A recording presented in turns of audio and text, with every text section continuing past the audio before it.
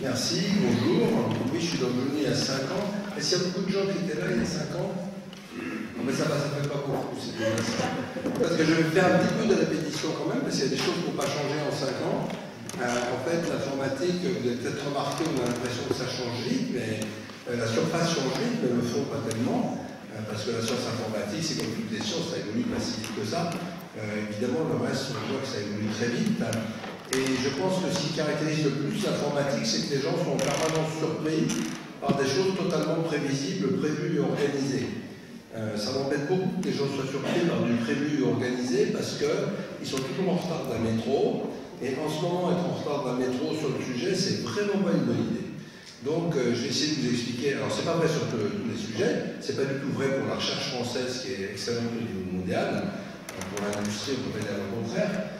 Euh, on peut dire le contraire, mais bon. Donc je vais essayer de vous expliquer euh, d'abord qu'est-ce que c'est au, cœur, alors sans donner de détails, mais en vous montrant pourquoi ça change absolument tout, et pourquoi vous pouvez tout changer autour de vous à toute allure, et ce n'est que le début d'une histoire, et, je crains qu'il n'y ait que deux camps, ceux qui, accompagnent l'histoire et ceux qui vont la subir.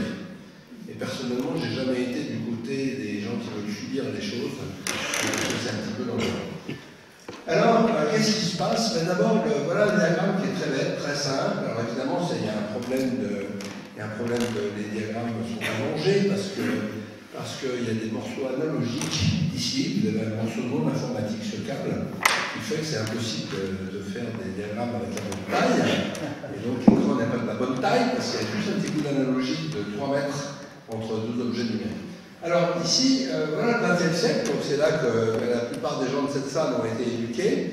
Et donc le XXe siècle, on apprend les sciences et plein, de choses en termes d'un triangle qui est matière, énergie, onde. Tout ce qu'on apprend à l'école, c'est sur matière, énergie, onde. Et euh, bah, c'est normal, toute la révolution industrielle, par exemple, s'est faite sur les machines, les machines mécaniques, qui sont donc matérielles, euh, et qui travaillent avec l'énergie, et les ondes, c'est les télécoms, c'est la radio, c'est plein de choses intéressantes, c'est la lumière, c'est aussi la photosynthèse, il faut pas oublier. Et donc voilà. Et puis, euh, je dirais, ça a commencé en 1936 avec Turing, mais c'est maintenant que c'est vraiment fort. Euh, est arrivé un quatrième larron au milieu, qui s'appelle l'information. Alors l'information, c'est quelque chose d'un peu mystérieux. Euh, c'est assez difficile à définir. S'il y a une théorie vraiment dure, c'est la théorie de l'information, qui ne parle pas de toutes les sortes d'informations. Mais l'information, euh, mentalement, on comprend que c'est la différence entre ce qu'on sait et ce qu'on ne sait pas, mais c'est beaucoup plus compliqué que ça. Mais ce n'est pas très grave. Hein. On va supposer qu'on sait un peu ce que c'est que l'information, et surtout ce que ça n'est pas. Ça n'est ni de la matière, ni de l'énergie, ni des ondes. Il lui faut un support quelque part, mais ce support est complètement indifférencié. L'information, vous l'écriviez, euh, que vous la parliez, vous l'écriviez, que vous l'envoyez par Internet, l'information est la même, le support, l'information s'en fout. Ça, c'est très différent d'une machine à vapeur qui ne fout pas de son support. Alors, l'information, ben, c'est très différent de matière et tout ça, parce que ça pèse rien, euh, ça se sent pas, ça ne brûle pas, ça se conserve, on s'y prenant bien, indéfiniment, si on s'en prend mal, si on s'y prend mal, c'est pas vrai. Euh, ça se recopie parfaitement, pas vrai pour la matière, euh, et ça se transmet parfaitement, pas vrai pour n'importe quoi d'autre. Donc l'information, c'est quelque chose de nature totalement différente de tout ce qu'on a dans la tête d'habitude. Et c'est pour ça que les gens ont beaucoup de mal avec, de comprendre, euh, de comprendre c'est différent. Alors, l'informatique, c'est ce diagramme-là, tout simplement, déjà à la base. On a l'information, je vous définis ce que c'est, on a nous, Hein, on a l'information avec des interfaces qui sont des mélanges de physique et d'informatique. On a l'information, bon, et puis on a les algorithmes. Les algorithmes, c'est des méthodes de calcul. C'est un conceptuel de calcul, les algorithmes. Euh, ben, on apprend des algorithmes à l'école. Euh, je, vous signale qu'à l'heure actuelle, quand on apprend à un gamin à faire une addition une multiplication, on ne lui dit toujours pas que c'est un algorithme. D'ailleurs, il y a beaucoup de profs qui ne savent pas, mais il serait temps qu'ils l'apprennent, parce que c'est un algorithme, c'est un algorithme ancien.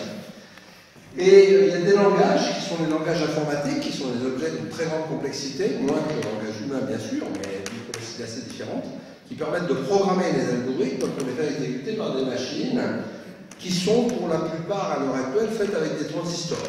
Mais comme l'information se fout complètement de son support, vous allez voir qu'on peut faire des machines avec bien autre chose que des transistors, et qu'en particulier, euh, votre corps, nos petites cellules tout ça sont des machines à information.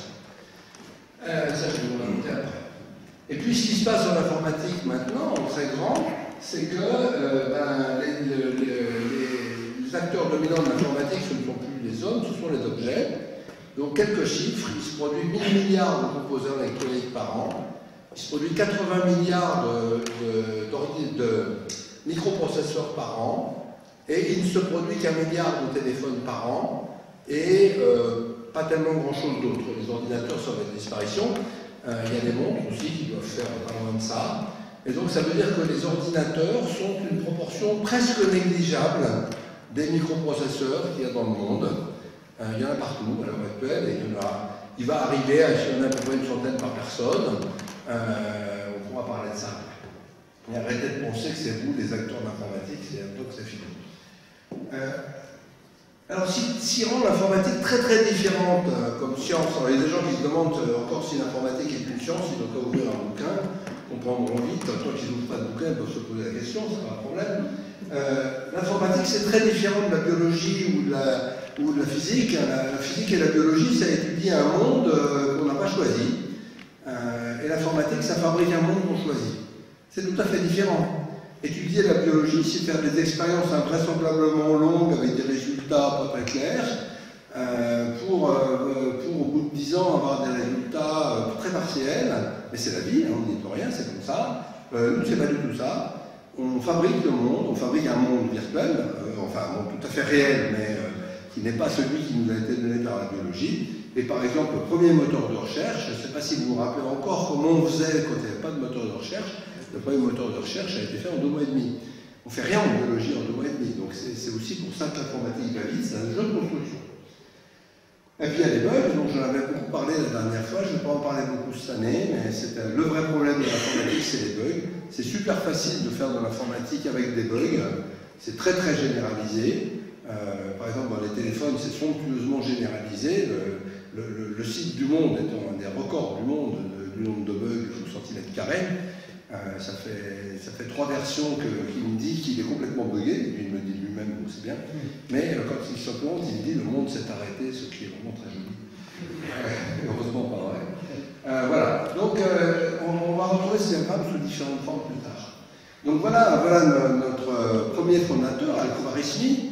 Donc algorithme, c'est pas un mot grec, ça vient du nom de Al-Khwarizmi, qui est un, un savant très important de, Perse, un Perse qui écrivait en arabe, qui a vécu euh, en Ouzbékistan en fait, ça, c'est sa tombe en Ouzbékistan, qui a vécu à cette époque-là et qui a fait des, grands apports, qui a en particulier ce qu'on appelle les chiffres arabes, qu'il a importé d'Inde et transmis à nous par l'intermédiaire de Fibonacci, dit Léonard, enfin Léonard de Pise dit Fibonacci au XIVe siècle, il faut quand même savoir qu'on connaissait parfaitement les nombres positifs, négatifs et toutes leurs lois en, Inde en 300 et on ne les connaissait pas du tout en France en 1650 ou 1700. Hein, donc euh, on pense que la science a été inventée en Europe, mais il faut quand même rester un peu modeste. Donc ça vient de là, et Khwarizmi a inventé deux choses, l'algorithmique, il a vraiment en premier à avoir systématisé, et puis il a écrit un très beau livre qui s'appelle Algebra, sur la résolution des équations qu'a donné le mot algèbre. Je trouve ça scandaleux qu'on n'explique pas ça à l'école aux enfants qu'on embête avec l'algèbre pendant des années. Alors, donc les algorithmes, il y en a deux sortes, pour simplifier. des algorithmes, il y en a des milliers. Il y en a des milliers, euh, des classes d'algorithmes, il y en a des centaines, des problèmes ouverts en mathématiques sur les algorithmes, autant que vous voulez. Euh, mais on va simplifier en disant qu'il y a deux classes d'algorithmes principaux. Il y a les algorithmes génériques qui ne s'intéressent pas au contenu.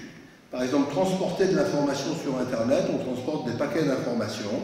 Euh, on se fout de savoir si c'est de la musique. La grande force d'Internet, c'est qu'il ne sait pas s'il transporte de la musique, du texte euh, ou n'importe quoi d'autre. Ça, c'est sa grande force. C'est pas du tout comme la poste, qui est obligé de savoir si le paquet est petit ou gros, euh, ce qu'il y a dedans, s'il est fragile ou pas. Internet, ça se fout de tout ça. Et donc, on peut copier à l'infini, on peut stocker, diffuser, comprimer, crypter. Et ça, c'est indépendant de l'information.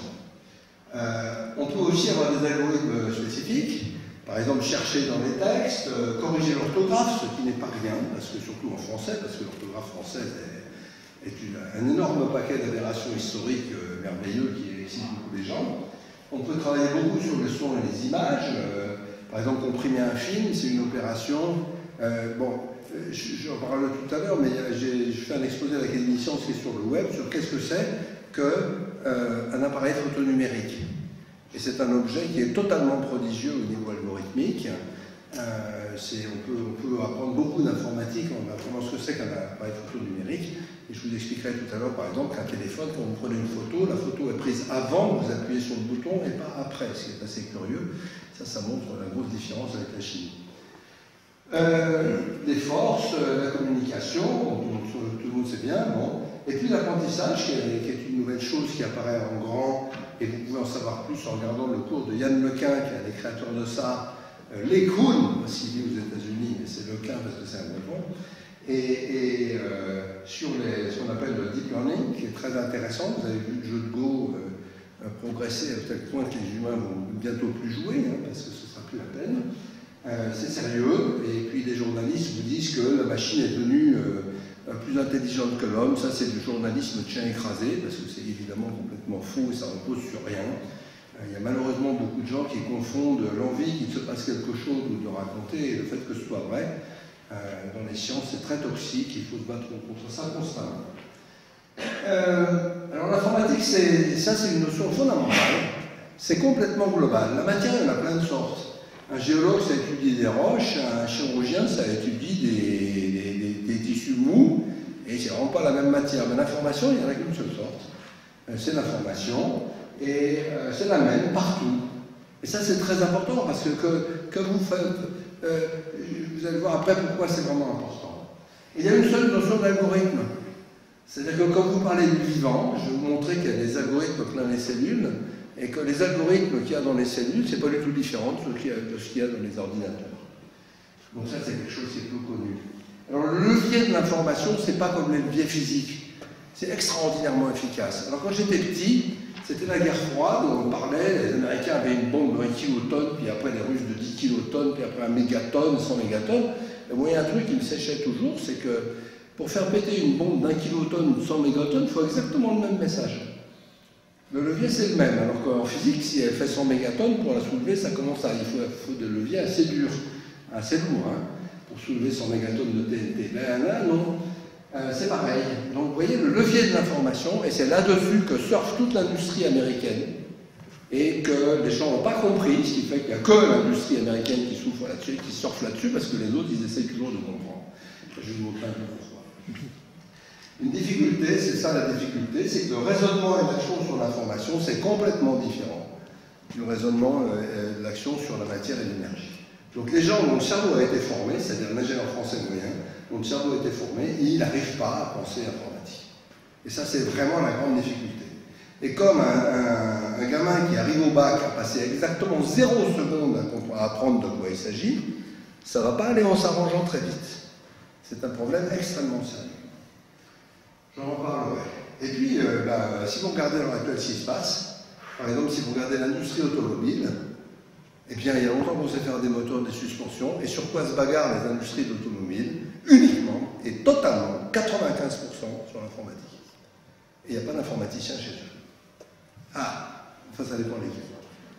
Euh, donc c'est un gros problème. Et puis il y a plein de bugs chez eux parce qu'ils pensent que l'informatique c'est facile, et ça je pourrais vous en raconter beaucoup. Euh, alors, j'aime bien prendre cet exemple-là, euh, c'est qu'autrefois on avait des métiers totalement différents lié à la matière et éventuellement à l'information d'une certaine façon. Par exemple, le métier d'éditeur de bouquins, c'était d'imprimer les choses sur du papier avec des beaux caractères, comme un contenu. Hein. Le contenu, c'est de l'information, mais l'information, elle est sous forme de caractères euh, dans un machin en carton et en papier. C'est bien. il y avait un autre métier complètement différent, c'était fabricant de 33 tours. Euh, où on enregistrait des musiciens et tout, un métier qui n'avait rien à voir. Il ne fallait pas faire du tout les mêmes études, ça ne se causait pas. Aussi, il y avait une étiquette avec un trou au milieu. Et euh, bon, puis il y avait un, métier complètement différent qui était la photographie, ça se faisait de la chimie, des révélateurs. Je ne sais pas si vous savez, mais il n'y a que 10 ans qu'on sait comment marche un révélateur. C'est extraordinaire. Et, voilà, c'était super. Puis il y avait des ingénieurs qui travaillaient avec des, des cams, des engrenages, tout ça. Quatre métiers totalement différents. Eh bien, il s'est passé quelque chose, c'est que maintenant, c'est exactement le même métier. Pourquoi? Parce que tout ça, c'est devenu de l'information numérique qui va être stockée sur n'importe quel support informatique, qui va être processée par des ordinateurs qui sont les mêmes pour tout le monde. C'est les mêmes ordinateurs qui font la photo, la musique, les bouquins et les forces, et piloter les avions, c'est exactement les mêmes. Ce sont même les mêmes algorithmes. Si vous ne savez pas ce que c'est qu'une transformée de Fourier, vous ne pourrez pas faire de l'image, vous ne pourrez pas faire du son, vous ne pourrez pas faire forces et vous ne pourrez pas faire la photo. Avant, il ne fallait pas savoir ce que c'était qu'une transformée Fourier. Maintenant, c'est fini, c'est terminé. Vous ne pouvez pas si vous ne savez pas ce que. Entre autres. Hein. Alors évidemment, on peut faire des choses beaucoup mieux. Par exemple, la photo numérique. Il y a encore des gens qui pensent que la photo, euh, la, photo euh, argentique est très plaisante. Parce que c'est comme le son des vinyles. C'est très plaisant à cause de ses défauts. Qu'on sait d'ailleurs reproduire numériquement son avis. Mais euh, le, gap de qualité est à l'heure actuelle des ordres de grandeur de qualité entre la photo numérique et la photo euh, argentique, par exemple. Ça ne veut pas dire que l'une est meilleure que l'autre, c'est techniquement, hein, artistiquement, c'est dire rien du tout. Et, voilà, et puis les cerveaux moteurs, c'est infiniment mieux que les cannes. Vous avez Airbus ici, qui est la première boîte au monde à avoir fait un commerce commandé par des cerveaux moteurs et des ordinateurs au lieu de.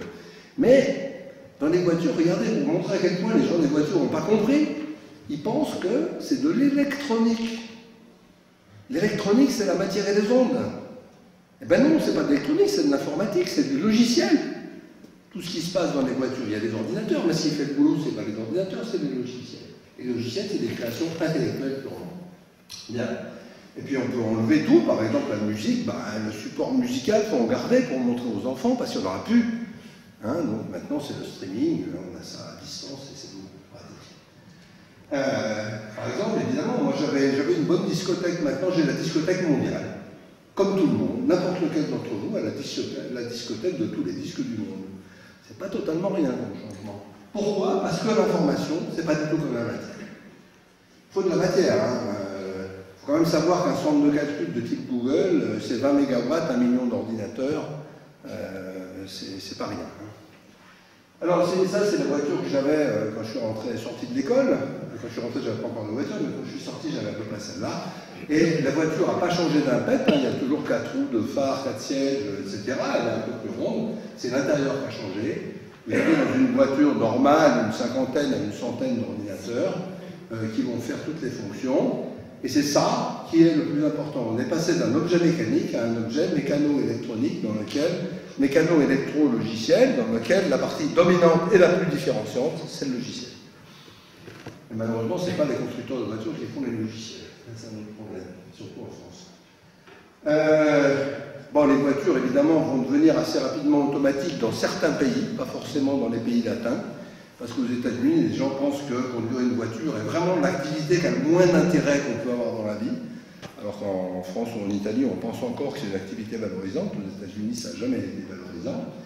Et donc, on va voir. Et puis surtout, il y a, les voitures vont se causer, mais enfin, c'est pas fait. Hein. Il y a des raisons légales alors, si on regarde ce qui se passe, avant d'aller un peu plus dans le détail des sciences, euh, il y, a deux choses qui se passent. La première chose, c'est une transformation très profonde des schémas classiques. Amazon, c'est la redoute. Sauf qu'il y a presque tout le monde dedans. Enfin, la redoute, c'est le menu France, c'était pas mal non plus. Euh, mais simplement, ben, ben, ça ne marche pas du tout pareil parce que l'essentiel, c'est l'information. Euh, la réservation en ligne, vous prenez Booking ou Airbnb, ben, ben, les agences de voyage, elles ne peuvent pas faire ça, c'est complètement impossible. Ils ont toute l'information du monde sans rien faire, puisque c'est non gratoche, c'est les gens qui leur donnent. En plus, ils sont, non, les gens payent pour mettre l'information là-bas. Ça, c'est nouveau. Hein. Euh, les journaux en ligne, ben, ça c'est un problème assez simple, mais les revues en ligne, il y a plein de choses intéressantes. Hein. Euh, les réservations en ligne, évidemment, il y a des gens qui savent faire ou pas. Voyager SNCF, c'est une catastrophe. Et si vous connaissez si connaissez pas Captain Train, allez à Captain Train, vous verrez la différence entre le 21e siècle et le 20e siècle. Euh, et il y a des schémas surtout totalement nouveaux maintenant.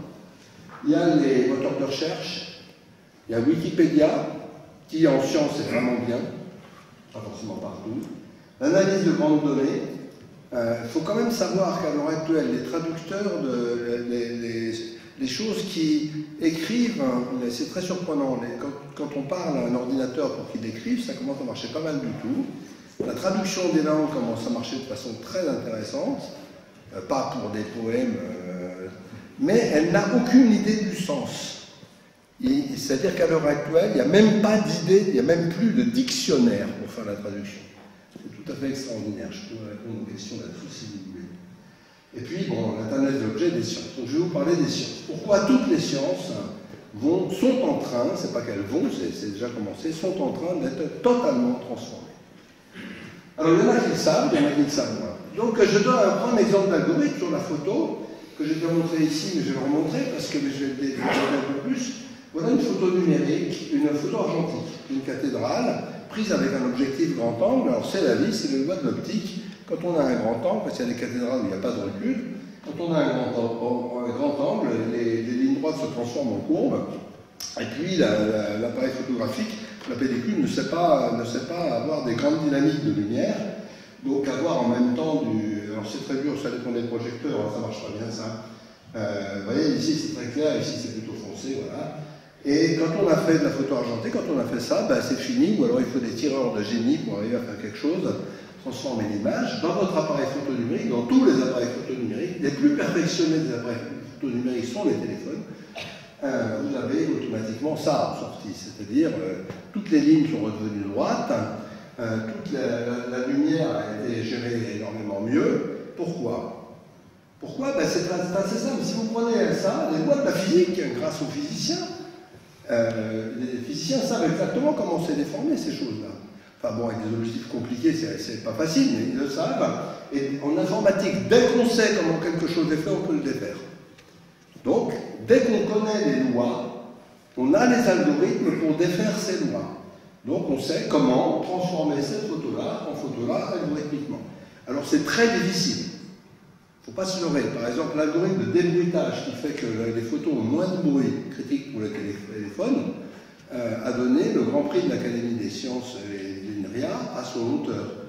Cet algorithme est employé dans DxO, qui est le leader mondial de, logiciels de développement photo. Et euh, c'est pareil pour le son. Donc maintenant, quand vous prenez une photo avec un téléphone, en fait, c'est beaucoup plus malin. Vous appuyez, vous pensez que la photo va se prendre, mais ce n'est pas du tout vrai votre téléphone filme en permanence, et quand vous appuyez, il dit Bon, alors on va regarder les 15-20 dernières images et on va les fusionner. Ça, ça permet d'enlever du bruit parce qu'on a beaucoup plus d'informations. Et puis, euh, on regarde là, oh là là, là, il y, a une personne qui cligne de l'œil, allez, on enlève la tête, on la prend dans les autres images. Et c'est comme ça que sont faites les photos à l'heure actuelle. Hein. Donc la photo vérité, c'est terminé, c'est sûr. Ça a des avantages et des inconvénients. Pareil pour le son, on peut faire des tas de choses. C'est pareil pour la cartographie. Hein. Ça, c'est une photo aérienne prise, une photo euh, prise par un avion qui n'a jamais existé. C'est une photo mathématique. Et toute la, toute la détection agricole, toute la, météo, etc., ça repose sur les algorithmes de décodage d'images qui deviennent extrêmement perfectionnés, qui font des choses très très difficiles hein, au niveau maths et informatique. Euh, je vais prendre des exemples complètement différents. Donc là, moi, je suis, euh, il se trouve que je suis président du conseil scientifique de BIRCAM, qui est le plus grand centre mondial de recherche en musique, et euh, qu'on fait des choses formidables, les font des choses formidables, et on va à la Lune. Euh, voilà la, musique classique, qui est évidemment toujours aussi adorable. Vous avez un quatuor, vous avez une partition. Et puis, au XXe siècle, beaucoup de musiciens qui trouvaient que la musique classique, ben, c'était plus la peine d'en faire parce qu'ils n'arriveraient jamais à faire aussi bien que ce qu'on faisait. Il fallait faire autre chose. Ils se sont dit, on a l'ordinateur. Un ordinateur, contrairement à un instrument, peut fabriquer n'importe quel son. C'est pas facile, ça ne veut pas dire que le son qu'on fabrique est intéressant, mais tout est possible. Aucun son n'est impossible. Et donc, on va essayer de faire ça et on va essayer de mettre les ordinateurs en plus des, des musiciens. Et donc, ils faisaient des enregistrements sur bande ou des enregistrements euh, joués par ordinateur. Et c'était pas très marrant parce que les, ils le savaient, les musiciens, ils savaient pas pouvaient pas faire autrement. C'est que le, la partie informatique était jouée avec l'humour et la sensibilité musicale d'un ordinateur. Vous voyez ce que je veux dire et, donc, euh, ça posait un problème aux interprètes qui devaient se synchroniser avec un ordinateur s'il n'est pas totalement passionnant. Et donc, il y a un, système très beau qui, qui, a été fait par un thésard, euh, quelqu'un qui a fait il y a 5 ans, qui consiste à faire un truc très très malin, qui est d'étudier, même sur les partitions les plus dures qui existent, hein, d'étudier en temps réel comment les humains jouent, de détecter le tempo, de détecter les variations, de détecter tout, et de faire jouer la musique électronique au rythme où les humains jouent. Ça, vous allez voir ça dans les écoles de musique, donc c'est une révolution de l'enseignement de la musique que vous allez voir, c'est vous prenez un enregistrement de l'Orchestre de Paris, un concerto de Mozart, vous pouvez trouver ça sur le web, vous prenez la partition, et si vous êtes pianiste, vous jouez. Si vous ne savez pas trop bien jouer, vous jouez lentement, et l'orchestre joue lentement. Si vous jouez mieux, vous jouez à plein tube, si vous faites des accélérations, des ralentissements, comme il faut faire en musique, eh bien l'orchestre vous suit. Et ça, c'est quelque chose de très difficile au niveau, c'est très joli au niveau mathématique, informatique, eh, mais ça veut dire qu'on peut jouer avec un orchestre. Alors euh, réfléchissez tout instant à tout ce qu'il faut faire. Par exemple, quand vous accélérez une bande magnétique, vous montez la hauteur du son. Vous la ralentissez. Ben là, non. Hein. Vous pouvez ralentir l'orchestre de Paris, vous ne changez pas les timbres, vous ne changez pas la hauteur du son. Et ça, c'est 20 ans de recherche. Donc voilà, et puis ça pose des tas de questions sur qu'est-ce que c'est qu'une partition en musique, euh, on travaille beaucoup là-dessus. Qu'est-ce que c'est qu'une partition? À l'heure actuelle, ben, on dit une partition, euh, pour l'instant c'est un machin qui est fait pour être lu par des hommes, mais si on travaille avec des ordinateurs, les ordinateurs ils ne disent pas de droite à gauche. Donc une partition moderne, c'est un algorithme. C'est comme ça. Alors on va parler de science, donc euh, il y a deux phrases célèbres en science, celle de Galilée qui dit, il n'a pas dit ça, hein, mais on lui fait dire, mais c'est pas tout à fait comme ça, puis c'est pas le premier. Le grand livre de la nature est écrit en langage mathématique, ce qui est partiellement vrai, et Einstein qui dit ce qui est incompréhensible, c'est que le monde soit compréhensible. Alors, il y a un petit problème avec ces deux phrases que je vais essayer de, je vais essayer de vous montrer que ça peut changer. C'est que ce que disait Galilée, pour lui, les sciences Galilée, c'était le mouvement des corps. C'était les planètes, c'était la chute, c'est ça qu'il voulait modéliser. Et là, il y a Kepler, puis des tas d'autres gens qui ont montré qu'effectivement, avec des mathématiques, eh bien, on pouvait modéliser très précisément le mouvement des planètes, sauf une, ce qui a permis à Einstein de démontrer la relativité générale euh, après, enfin pas de démontrer, de, l'écrire au moins. Euh, mais bon, et puis pour les sciences du vivant, bah, à l'époque, c'était, euh, on était quand même au médecin malgré lui, il hein, faut pas oublier. les sciences du vivant, ce n'était pas des sciences. Le vivant n'était pas un domaine des sciences. Hein, c'était un domaine de l'art médical, comme on disait, qui n'était pas très artistique à l'époque. Euh, la conjecture à l'heure actuelle, qui, se, vérifie de plus en plus, mais elle ne se vérifiera jamais vraiment, c'est que ce sera vrai.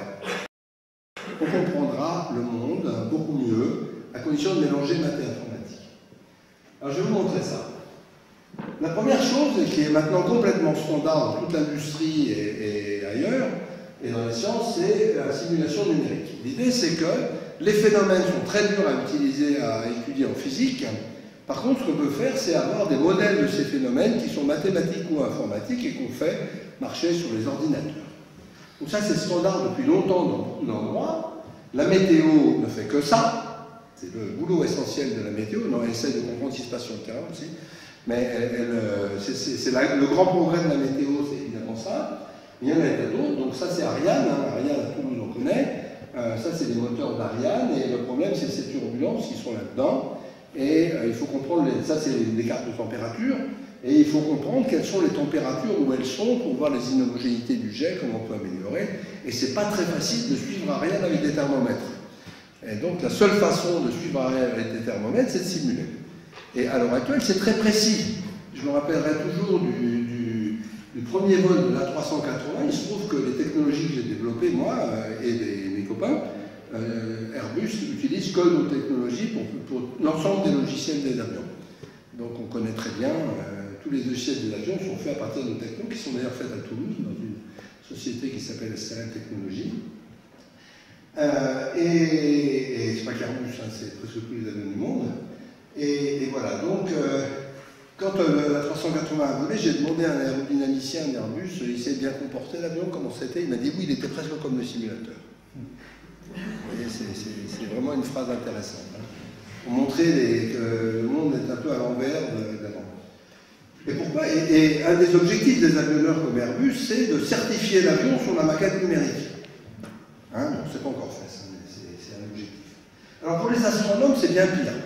Donc moi je bosse avec pas mal d'astronomes, François Ascombe, je ne sais pas si vous connaissez, qui bosse sur la matière noire, les galaxies et tout. Et donc, par exemple, on a une expérience assez dure à faire au labo qui est de faire exploser une supernova. Donc, ils n'ont pas les budgets pour ça, ils ont beaucoup de budget, les astronomes, ils n'ont pas encore le budget qu'il faut pour faire exploser une supernova dans le labo. Et la seule solution, c'est de faire des simulations. Et ces simulations sont très importantes parce que, euh, vous voyez, ces endroits-là, c'est les endroits où nous, on est fabriqué, les molécules lourdes, elles sortent de là, en particulier. Et, après, euh, de ces simulations, on déduit des paramètres qu'on peut vérifier sur les. Et donc, on peut régler les simulations à distance. Bon, c'est tout un travail. Les astronomes sont, ça fait très très longtemps qu'ils sont euh, très très forts en informatique.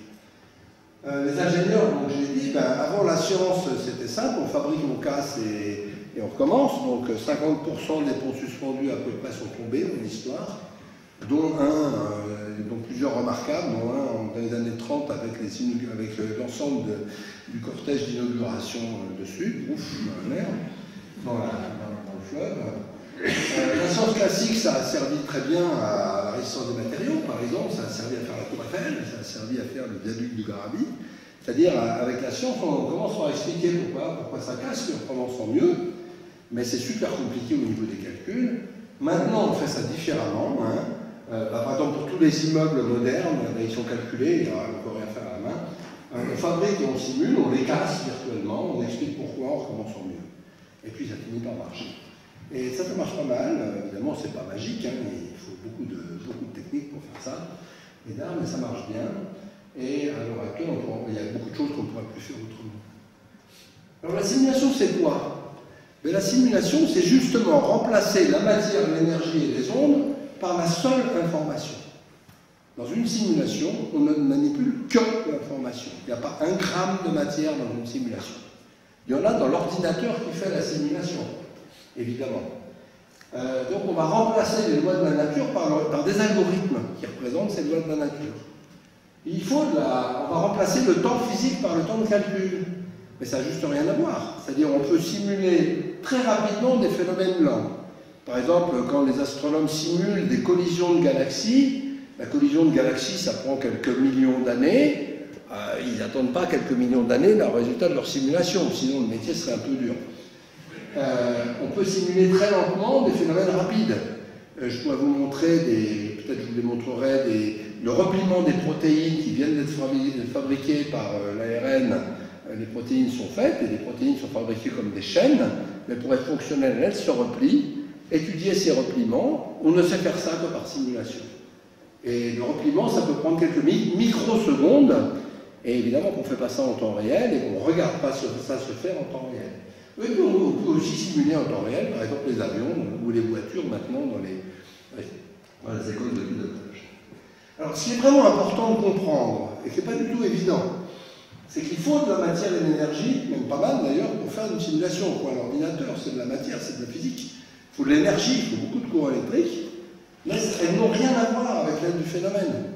C'est les mêmes pour tous les phénomènes. Que vous simuliez une supernova ou un avion, c'est la même chose. C'est le même ordinateur, alors que l'objet que vous simulez n'est pas du tout le même. Et donc ça, c'est une chose qu'il faut complètement engranger. L'informatique est totalement découplée de la matière. Sauf qu'il en faut pour elle, mais ce n'est pas la même que pour le phénomène. Les instruments des astronomes ou de la physique sont devenus autant physiques autant algorithmiques que physiques. À l'heure actuelle, les télescopes comme Planck, les robots, etc., beaucoup de choses de la physique sont choisies en fonction des algorithmes.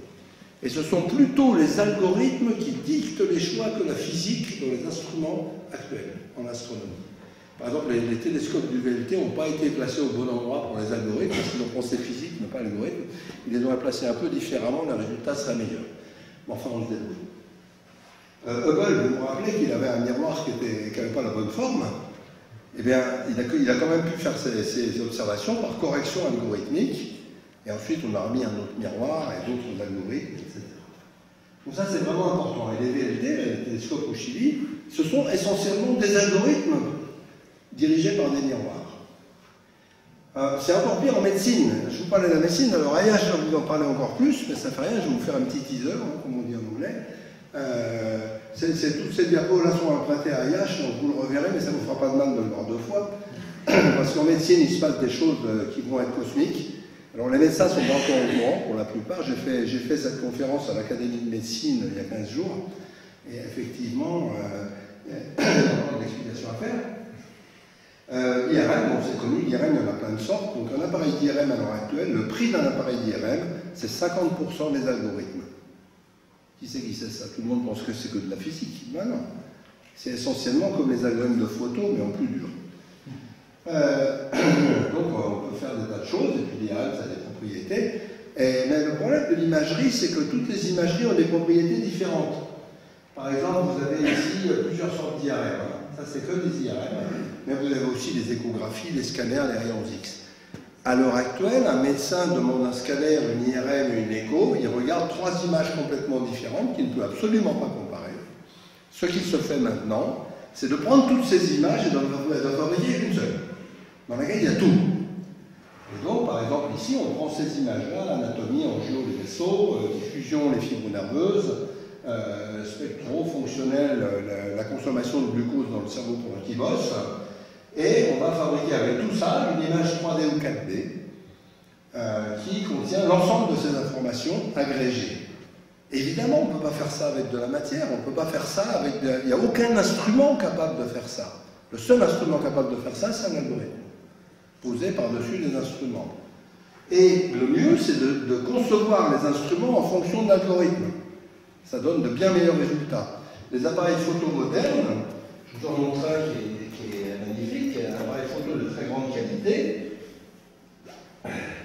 dont je me sers pas mal, si je le retrouve, j'espère, parce que j'espère pas l'avoir Il est là. Donc ça, c'est un appareil photo de, de la qualité d'un réflexe. Vous voyez, il est comme ça. Ça, ça se branche sur le téléphone. Un petit câble, donc ça peut marcher tout seul, ça se branche sur le téléphone. Le téléphone sert de viseur, ça c'est euh, euh, très très haute qualité photographique. Et là, par exemple, l'objectif touche la pellicule. Tout est, tout est algorithmique là-dedans.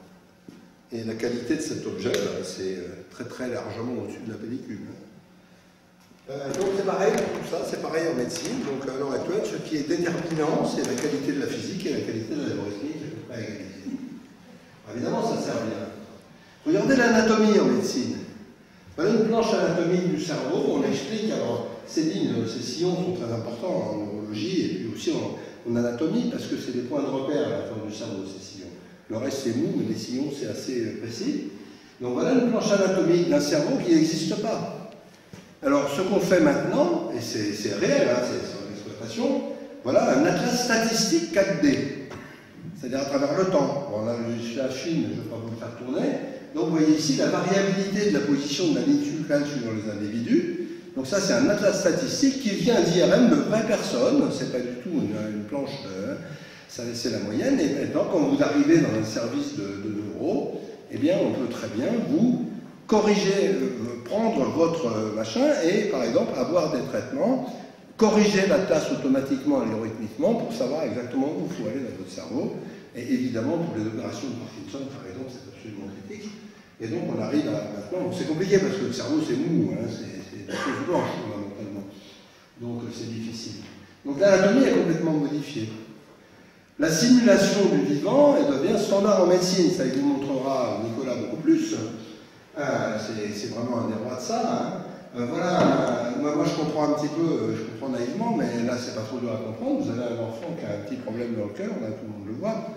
Et il y a un point commun entre l'informatique et la chirurgie, c'est couper-coller. On utilise beaucoup couper-coller fait l'informatique et la chirurgie, c'est jamais que couper-coller. Surtout que maintenant, ça se fait à la colle, aussi autant qu'avec des points, donc c'est couper-coller. Mais le problème de la chirurgie, c'est savoir où couper ou coller. Comment ils font d'habitude eh Les chirurgiens ont un pifomètre, c'est leur métier, ils ont un pifomètre, un instrument de précision. Mais il y a une certaine imprécision aussi. Et là, ce qu'on peut faire, c'est euh, beaucoup plus. Euh, alors, ça, c'est des travaux qui ne sont pas finis, hein, mais, mais qui ne font pas progresser ce qu'on peut faire, c'est simuler le fonctionnement du cœur, calculer le résultat de l'opération selon où on coupe, et la précision de ça s'améliore année après année, et ça n'ira que vers une précision plus grande. Il n'y a pas d'obstacle. L'obstacle, c'est uniquement nos têtes. C'est pas la physique. Hein, euh, donc voilà, donc on sait, on commence à savoir euh, simuler un cœur. Cœur, c'est pas l'organe le plus compliqué. Hein. On commence à savoir simuler un foie, commence à savoir simuler un tout petit peu un pancréas. Euh, le cerveau, c'est moins, moins, moins d'être fait, même si des tas de journalistes vous disent que de toute façon, les machines sont plus intelligentes que nous. Euh, c'est peut-être vrai pour les question. euh, quelque chose de très intéressant aussi, une fois qu'on a compris le principe algorithmique, il a presque plus de limites. Donc ça, c'est des choses qui sont en clinique. Quand on disait les chirurgiens croient que l'informatique est une mode qui va passer, c'est pas vrai pour tous les chirurgiens. Donc ça, ça existe, et ça existe en clinique en France, hein, et dans le monde entier. Un chirurgien qui fait opérer un homme du foie, par exemple, alors je simplifie, hein, Nicolas il dira ça mieux, euh, ben, le problème c'est que le foie, quand, quand, le chirurgien coupe, ça ne ressemble pas à ça. Hein. C'est plein de sang, c'est euh, le bordel. Le chirurgien, c'est quand même un métier assez dur. Et ben, ce qu'on fait pour l'aider, c'est de, projeter en 3D l'image virtuelle du foie à couper, du foie du patient, qui a été personnalisé en fonction d'un foie, de le projeter à l'intérieur du corps pour qu'il ait ses repères géométriques. Mais c'est compliqué parce que euh, ben, il faut que ce soit invariant suivant la position de la tête du chirurgien, il faut que ça marche avec la respiration du patient. Enfin, c'est de l'algorithmique euh, sportive, c'est pas pour les amateurs, hein. c'est pas en ayant fait euh, trois jours de, scratch qu'on apprend à faire ça.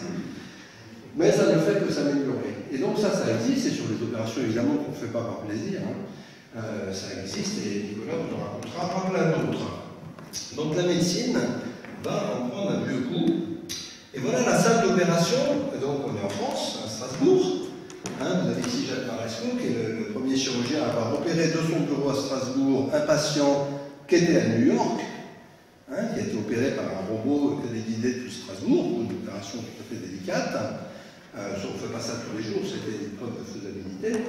Et voilà la salle d'opération actuelle du CHU de Strasbourg. Et voilà la comparaison avec un cockpit d'Airbus. Ben, en gros, c'est pareil. C'est le même principe. Sauf que il y a plus de place dans la salle d'opération que dans le cockpit de l'Airbus. Mais c'est le même principe. Vous avez un patient au milieu, là, qui ne prend pas beaucoup de place, et un énorme paquet d'écran qui vous montre tout un tas d'imageries et de fusions d'images différentes. Un robot qui va faire certaines opérations, pas toutes, parce que les chirurgiens pensent que les robots sont meilleurs qu'eux pour euh, pas mal d'opérations. Par exemple, les prothèses à l'heure ça commence à se faire en imprimante 3D et en robotique, parce que c'est meilleur que ce qu'on fait à la main, donc vous voyez, ça c'est réel, hein, c'est pas de la fiction, hein, c'est en place. Euh, alors les questions médicales, il y en a partout. Donc l'aide au diagnostic, ça, ça secoue beaucoup les médecins. Est-ce qu'avec des systèmes d'apprentissage automatique, euh, on peut faire de la diagnostic? C'est pas 100% clair, c'est probablement vrai à terme, ça va devenir euh, difficile.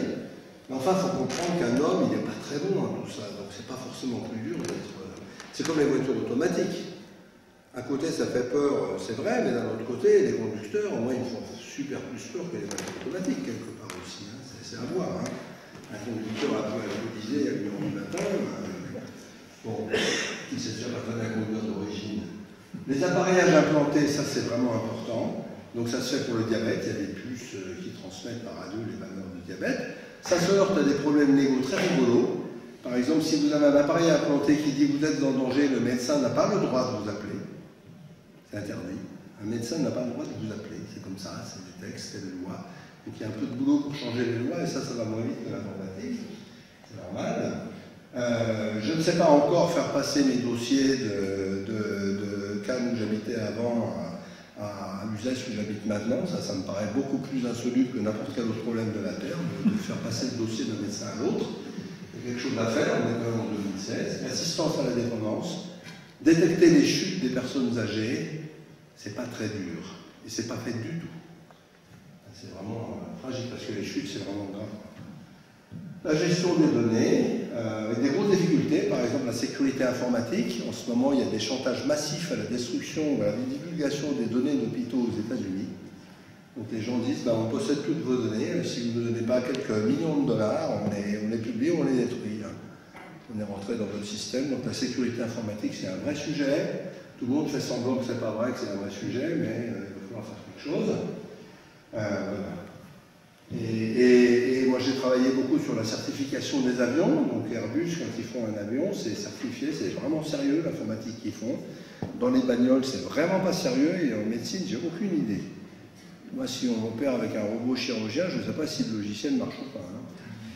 Euh, alors, regardons un peu ce qui se passe ailleurs. Parce que là, on parlait d'ordinateurs avec des transistors, mais regardons un peu d'autres ordinateurs. Un labo informatique. Bon, mais qu'est-ce qui se passe là? Vous avez l'information qui est de l'ADN, c'est un gros schéma simplifié, mais c'est pas du tout vous. Vous avez l'ADN qui vous euh, donne euh, votre information euh, centrale.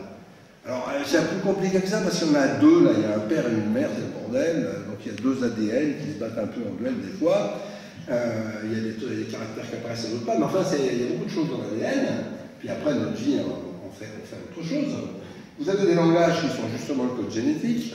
Il y en a probablement des tas d'autres. Euh, les, biologistes pensent qu'ils sont loin de tout connaître là-dessus, et la biologie, c'est beaucoup plus dur.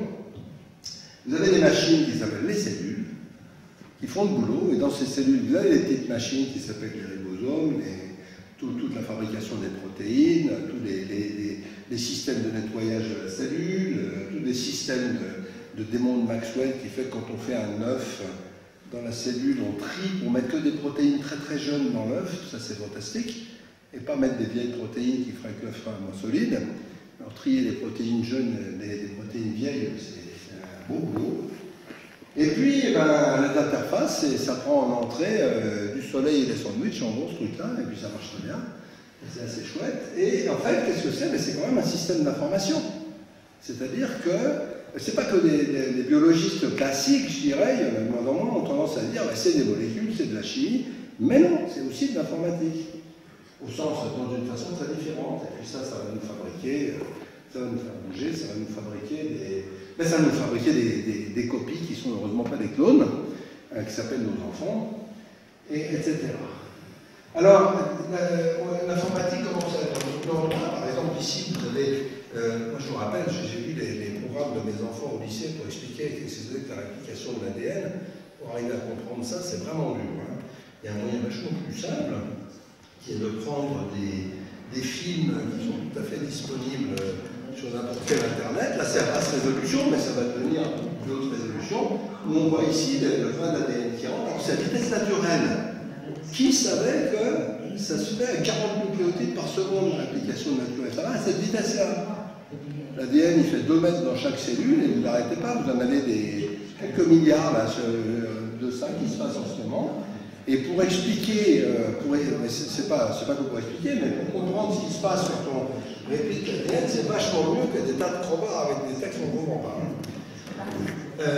Vous avez, euh, c'était de la basse résolution, mais on commence à étudier les molécules. Donc ici vous avez l'ARN polymérase, hein, qui est ce qui fait le boulot d'aller fabriquer vos protéines. Et vous avez l'ARN, ça non, c'est celle qui fabrique l'ARN de l'ADN. Et là, vous avez l'ADN qui rentre là-dedans, puis l'ARN qui sort je ne sais pas où. Et une molécule, ces protéines-là, c'est assez compliqué. Et donc, c'est de la géométrie, ce qu'on appelle de la géométrie algorithmique. La géométrie à très grande échelle, ce n'est pas des triangles, c'est des choses comme ça, très très complexes. Et euh, là, ça s'appelle parce que c'est assez long. Et puis, vous avez des ordinateurs à ADN maintenant. Un ordinateur ADN, on n'utilise pas des transistors, on utilise des brins d'ADN. Et là, vous avez un langage de programmation pour ordinateur à ADN. Et vous voyez, les, les, valeurs, c'est des simples brins d'ADN. Et les calculateurs, c'est des doubles brins d'ADN. Et on a la même puissance que les ordinateurs. Simplement, ça va tout doucement. Et ça a un gros intérêt, c'est d'aller faire. Euh, pourquoi les gens font ça? C'est pour chercher à. Alors, les biologistes disent toujours on va faire. c'est chercher à réparer les cellules par calcul. Euh, si vous avez une maladie monogénique, une des idées possibles, attention, les journalistes vont vous dire tout de suite que c'est déjà fait, non, euh, c'est d'aller calculer ou d'aller faire des calculs qui vont trouver le bon endroit à l'ADN, le couper au bon endroit, mais avec des implants d'information. Et donc, euh, je vous en montre un petit bout là, par exemple, voilà, quelque chose, un calcul très simple qui sert à beaucoup de choses. Vous prenez un, A, une lettre A, une lettre B, vous fabriquez une lettre C. Donc voilà comment on fait. Vous avez votre A, c'est le rouge là, et le B, c'est le vert, et vous voulez fabriquer du bleu. Et vous avez une, espèce de pompe de calcul, là, c'est pas des transistors, c'est de l'ADN. Et euh, vous lancez ça. Voilà, vous prenez votre A, vous prenez votre B, vous mettez ça dans la solution, hein.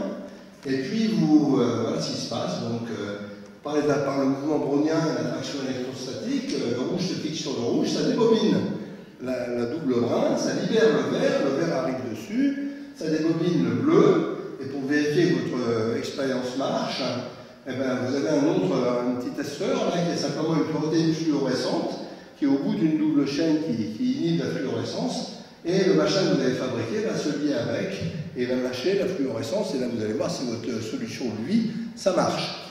Donc ça, c'est des choses qui sont maintenant euh, euh, tout à fait à l'étude dans beaucoup de labos. Ça, c'est chez Microsoft. Euh, et avec ça, on peut par exemple faire des... euh, on peut par exemple tuer la molécule qui a moins de concentration. Voilà comment ça marche. hein. Alors là, on ne redessine pas les grains d'ADN. Vous avez des X et des Y, et vous voulez qu'il ne reste plus que celui qui a la plus grande concentration. Vous voulez tuer un morceau de la cellule. Et bien voilà, vous faites exactement la règle X plus Y donne B plus B. Et vous voyez, à chaque fois qu'un tape dans Y, il donne 2B. Et les B redonnent les X ou les Y. Mais comme il y a plus d'X que d'Y, les Y vont disparaître. Et donc ça, c'est des calculs exactement comme ceux qu'on fait en informatique, mais... Et alors maintenant, c'est sympa, grâce aux biologistes, vous voulez faire ces petits brins d'ADN, comment vous faites? Donc, Vous allez sur un site internet, vous tapez ce brin-là, c'est ATTCG, TTA, euh, etc. Vous faites retour chariot, vous mettez votre carte bleue, et deux jours après, vous recevez l'ADN. Les biologistes ont fait des trucs fantastiques. Donc, euh, ben, la biologie, ça, ça bouge. Alors, c'est pas encore euh, la biologie. On faire beaucoup de. Donc, on peut faire, euh, on peut envisager de hein, faire de sel, c'est la recherche. On étudie la cellule en tant que machine à information. Euh, la cellule est une machine à information, c'est-à-dire qu'en fait, tout ce que fait la cellule, c'est d'utiliser l'information de votre ADN. Et Turing, qui est l'inventeur de l'informatique, est aussi l'inventeur de la morphogénèse, qui explique pourquoi, dans votre ADN, il y a marqué que vous avez deux bras, deux jambes, deux narines, deux oreilles, un seul nez. Ce qu'on appelle la morphogénèse, c'est Turing, le même, qui a inventé ça, qui a pour la première fois s'est demandé pourquoi les léopards avaient des taches et les, tigres des rayures, et qui a écrit un papier prodigieux en 1954, dans lequel il montre que c'est juste des maths et de l'informatique. Euh, on commence à simuler des organes, on commence à simuler des plantes, ça c'est très important, simuler des plantes, c'est plus simple que les animaux, ça que moins vite. Et donc c'est euh, la question, si on la pose brutalement, c'est trop brutal mais c'est exprès. Euh, pour faire de la biologie, jusqu'à quel point peut-on oublier les molécules? C'est-à-dire que, je vous ai dit, l'informatique ne dépend pas de l'information ne dépend pas du support. On peut faire des calculs avec de l'ADN, les mêmes, plus doucement, les mêmes qu'on fait avec des transistors. Ça veut dire que quand on pense au calcul, il faut surtout penser ni transistor ni ADN. Donc jusqu'à quel point la biologie est-elle gouvernée par l'information autant que par la matière, ou pas, ou moins, etc. Donc ça c'est une question. Et donc par exemple, quand on parle de la vie dans les exoplanètes, ben, la vie c'est la transformation, c'est la réplication de l'information. Qu'est-ce que c'est qu'une espèce? Qu'est-ce que c'est qu'une espèce biologique? Ça, je pense que c'est la meilleure définition. C'est le, moyen qu'a inventé, enfin, ça, ça anthropomorphise la nature, le moyen qu'a inventé la nature pour reproduire l'ADN. Le moyen qu'a inventé l'ADN pour se reproduire. Vous, vous êtes des exemples du moyen qu'a qu euh, inventé la nature pour reproduire votre ADN. Vous ne servez pas à grand-chose d'autre que ça. À une échelle euh, de population, j'entends. Euh, on peut simuler, par exemple, les biologistes font des grandes cartes des réactions cellulaires, c'est des choses très intéressantes. Alors, ça, ça, ça dit qu'est-ce qui se passe, comment les protéines sont construites dans les cellules. Euh, c'est un bordel total. Hein, nous, on n'aurait pas designé ça comme ça, mais on est pour rien. Et euh, oui, toutes ces cartes sont très compliquées. Chacun de ces traits demande un travail fou. Et ben, les informaticiens prennent ces cartes et les étudient complètement autrement. Par exemple, j'ai un copain qui a fait un papier avec un prix Nobel de, chimie, de biologie, donc, je ne sais pas prix Nobel de biologie, et qui a montré que ben, ce qu'il racontait c'était faux, en appliquant des techniques euh, qui ont été développées pour faire les, les preuves de programme des avions. Et donc, on prend des, des preuves de programme euh, qu'on avait inventées pour faire les avions ou d'autres trucs, on les base sur des cellules maintenant, mais ça marche pareil. Alors, il y, a, il y a une autre machine d'information qui est vraiment intéressante. Il y a des tas de gens qui vont expliquer, qui ont tout compris, euh, mais pas chez les scientifiques. Euh, vous avez, euh, ben voilà, vous avez le cerveau. Alors, le cerveau, c'est quoi? Ben, Vous avez l'interface, c'est nos sens. Donc, ça va rentrer la vue, l'ouïe, l'odorat, le toucher, encore d'autres sens, l'équilibre, tout ça. Et puis, l'information, ça va être codé par des. Le codage d'information, c'est par des trains d'impulsion. On sait qu'il y a ça, il y a peut-être d'autres choses. Des algorithmes, il y en a plein le cerveau. Il y en a qu'on connaît très bien, par exemple la vision.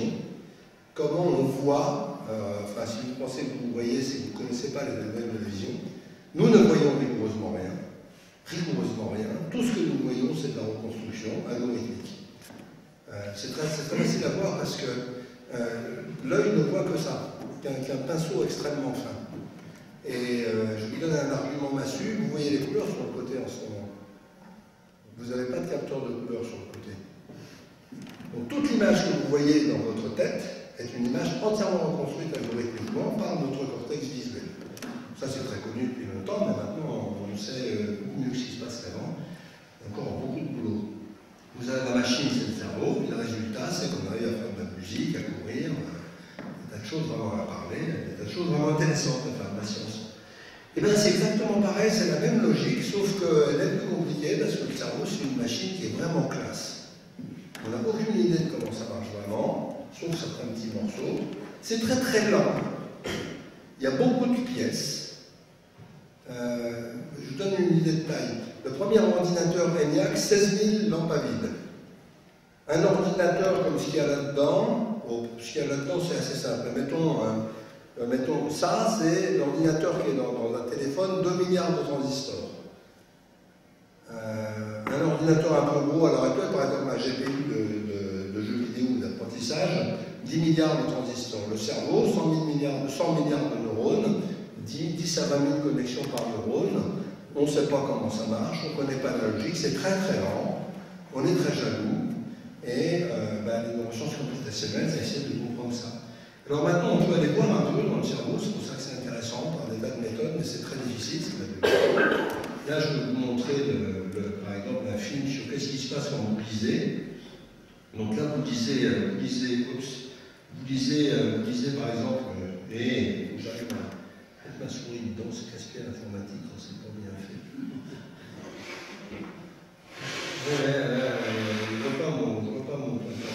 Voilà, comme vous disiez, euh, vous voyez ce qui se passe là, vous avez, vous avez des images. Alors, les images, c'est compliqué. Hein. Euh, L'œil ne voit rigoureusement rien qui est immobile. Donc quand vous regardez, aucune information n'arrive sur ce qui ne bouge pas au cerveau. C'est assez intéressant. Et ce qui arrive au cerveau, c'est 20 films différents de traitement informatique de, euh, de l'image que vous voyez, mais ça ne voit que certains contours et que des trucs qui bougent. Alors pourquoi vous voyez des trucs immobiles? C'est parce que le truc bouge tout le temps. Hein, c'est pour ça qu'il y a des saccades oculaires, c'est parce que l'œil ne voit rien si, ça ne bouge pas, et donc la seule méthode pour voir des trucs immobiles, c'est qu'il faut bouger tout le temps. Et par exemple, le chat ne fait pas, ça si bien, ce qui fait qu'un chat, quand une chose ne bouge pas, il ne la voit pas du tout. Mais nous, c'est pareil, mais on bouge les yeux tout le temps. C'est microscopique, on ne voit pas. Euh, et donc là, là, ce qui se passe, c'est que ben, voit les, points noirs et les points blancs arrivent dans le cerveau là. Ils vont être décodés par des neurones, donc il y a une algorithmique superbe, ils vont être décodés par des neurones qui savent reconnaître des T, des D, des X, dans n'importe quelle taille et n'importe quelle position. Ça va être assemblé pour faire des, petits bouts de lettres euh, les lettres vont être assemblées pour faire des syllabes, des syllabes avec un gros apprentissage, et en fait vous rééduquez une bonne moitié de votre cerveau euh, arrière pour apprendre à lire. Euh, le bouquin des neurones de la lecture est totalement blanc, pour vraiment lire. Donc on comprend. Et après, là, on arrive au sens, quand, ça monte là-haut, on arrive au sens, alors on a une idée de ce qui se passe, où sont les dictionnaires. Alors on sait quand même qu'il y a deux voix qu'on va parler, surtout les Italiens, on va parler et puis on va aller dans un espèce de Google de dictionnaire qui va chercher les mots, les sens, les assemblées. Mais ça, on ne sait pas comment ça marche. Donc, euh, on va aller voir, ça c'est un peu sommaire, hein, mais il y a d'autres méthodes. On peut planter des électrodes dans le cerveau, mais sur 100 milliards de neurones, on ne peut pas quand même voir grand-chose. Et du boulot. Et puis, euh, je vais prendre un autre exemple de transformation des sciences, c'est les maths. Alors les maths, c'est curieux. Les maths définissent par le fait qu'on démontre les choses. Sauf que c'est pas vraiment vrai. Les mathématiciens savent bien, quand ils écrivent un papier, c'est sentimental la démonstration. C'est aussi rigoureux qu'ils peuvent le faire. Mais c'est destiné à être lu par un homme aussi rigoureux et compétent qu'eux. Et une bonne démonstration, ça met euh, des fois 25 ans à devenir à peu près correct. Hein. Alors ce qui se passe maintenant, c'est qu'on sait faire des maths en. Alors pour des. Alors c'est très intéressant pour nous, mais pour les maths aussi, mais enfin c'est le début. Jean Jontier, qui est un de mes étudiants euh, a déjà démontré euh, le théorème des quatre couleurs. Le théorème des quatre couleurs, il dit que si vous prenez une carte de géographie, vous pouvez la colorier avec quatre couleurs de manière à ce que deux pays frontière commune n'aient pas la même couleur. C'est un terrain qui n'a aucun intérêt, sauf que sa démonstration est assez dure et que son histoire est bien. 1852, la conjecture. 1870, euh, euh, quelqu'un qui dit voilà, j'ai démontré. On y croit jusqu'en 1890 où on s'aperçoit que c'est complètement faux. Plusieurs autres démonstrations fausses par des grands mathématiciens. Une démonstration euh, par Appelaken en 1976 formée de deux parties, un papier de maths qui dit il suffit de se ramener à un nombre de cas fini, 1238 cartes ou un truc comme ça, et après de les tester une par une. Teste ces cartes sur les ordinateurs, les matheux disent euh, le papier de mathématiques, pas de problème, il est, on l'a relu, il, il, a été vérifié, il est correct. Les cartes par ordinateur, on ne peut pas y croire. Ce qui n'était pas idiot à l'époque parce que c'était fait en assembleur sur des machines IBM et tout. Donc voilà, statut. Euh, Georges Montier avec, avec, un logiciel qui s'appelle Coq, qui est euh, une merveille fabriquée en France par qui a été une évolution dans le domaine, euh, prouve entièrement le théorème. Ce qui montre, ce qui avait, enfin, le simplifie beaucoup d'ailleurs la preuve, mais ce qui montre, c'est que pour les cartes, il n'y avait aucun problème, et pour le papier de maths, eh ben, il y avait un certain nombre de on voit que qui résistaient absolument pas à une analyse véritable. Donc il a fallu qu'il refasse ce papier de maths vraiment assez profondément, et maintenant c'est une démonstration en entier. Et euh, ça c'est rien, parce que tout récemment, il y a un grand théorème de, maths du XXe siècle qui s'appelle le théorème de Feit-Thompson, montré pour la première fois en 63, avec une preuve qui a été corrigée, mais pas beaucoup, jusqu'en 92. Maintenant, elle est entièrement en machine. C'est entièrement prouvé de façon automatique, sans avoir besoin d'aucune euh, intervention humaine pour vérifier la preuve. La preuve, c'est 255 pages de maths très lourdes, volumes, deux volumes complets des American Mathematical Monthly, c'est ce qui a été appelé le premier théorème monstrueux du XXe siècle. C'est un truc dont l'énoncé fait deux lignes. Hein. Une ligne, pas une, ligne. Sur les classifications des groupes. Ben, c'est tout en machine, et c'est à tel point que maintenant, à Princeton, vous savez, là où il y avait Gödel, Einstein, Turing, etc., et ben, ils ont ouvert un labo rien que pour ça. Il y a des mathématiciens de Field, très très forts, qui disent on en a marre que les référis ne répondent pas quand on leur envoie leur papier parce qu'ils sont trop techniques, on va s'en passer, on va faire ça sur des ordinateurs. Ça, c'est l'idée, mais ce n'est pas fait du tout. il, y a, un consortium mondial pour ça, maintenant, qui est en train de se faire. Et vous voyez, même les maths, euh, qui sont quand même des sciences les plus, rigoureuses, comme ça. Alors, on travaille sur évidemment d'autres choses, l'intelligence augmentée. Euh, par exemple, le 3D. Donc, il y a un très très beau cours de Marie-Paul Cagny au Collège de France qui est entièrement en vidéo, est aussi d'ailleurs, comme tous les cours. Euh, où elle, fabrique des personnages virtuels à partir de croquis. C'est absolument magnifique au niveau maths. Par exemple, elle les habille, vous faites un dessin d'habit, et puis elle vous les habille. Et quand les personnages dansent, ils ont les pieds exactement là où il faut. C'est des maths magnifiques et, des, une informatique de grande classe. Et c'est très marrant. Moi, ça m'intéresse parce que moi, je me suis dit, l'informatique existe enfin. C'était en 1983. C'était la première 4, c'était la première démonstration de MacPaint, le, software de dessin du Macintosh, qui était mon rêve d'enfant. Quand j'étais petit, Mickey, il prenait un pinceau, il le trempait dans une peinture à damier et il peignait un damier sur le mur. Moi, je trouvais que c'était le comble de l'impossible. Et bien MacPaint, on prend son, son, pinceau, on le trempe dans le damier et on peint un damier, parce que ça rien des maths. Ah oui, avec la peinture, c'est dur, on a des maths et l'informatique, Donc c'est assez sympa. Euh, il y a beaucoup de problèmes majeurs, vous les connaissez, la loi et la déontologie. Les lois, euh, vu qu'aucun politicien actuel ne sait se servir d'un ordinateur, ça ne va pas avancer vite, hein. euh, en particulier sur la sécurité, je vous en raconter des pas mal. et ils n'ont pas des modes de raisonnement. Et beaucoup de chefs d'entreprise en France ou d'entrepreneurs n'ont pas de mode de raisonnement. Alors qu'ils y sont à Silicon Valley, ne vous inquiétez pas, si Airbnb se fait là-bas et pas en France, c'est pas totalement par hasard. C'est pas uniquement à cause des capitaux, c'est au fait que les gens pensent comme ça, au lieu de penser comme au XXe siècle. Donc ça, c'est pas pareil. Je dis pas les gens du XXe siècle ont tort, c'est complètement faux, je dis juste que le XXe siècle est fini. Faut y faire. Voilà, il y a beaucoup de choses. Donc, euh, bon. Donc la conclusion, il y a encore des gens qui voient l'informatique comme un outil pour faire des calculs rapides. Donc ben, ça c'est le XXe siècle, c'est fini le XXe siècle, faut s'y faire. C'est très différent, c'est une nouvelle façon de penser et de faire, comme a été la révolution industrielle de la machine, mais en beaucoup plus efficace parce qu'il n'y a pas à construire les machines. Ah oui, construire les machines à vapeur, ça n'a pas été rien. Hein. Euh, là, les ordinateurs, ça se fabrique à la chaîne, on en fait 80 milliards par an. c'est l'industrie, oui, peut-être vous ne savez pas, mais l'industrie des circuits électroniques est la plus lourde du monde. Le prix d'une usine d'ordinateurs est très largement supérieur au prix de Flamanville avec les dépassements. C'est pour ça qu'on en a. On a encore un peu. Euh, pourquoi, est-ce que ça va aussi vite? Eh bien Parce que l'informatique, c'est léger. C'est léger et c'est super efficace.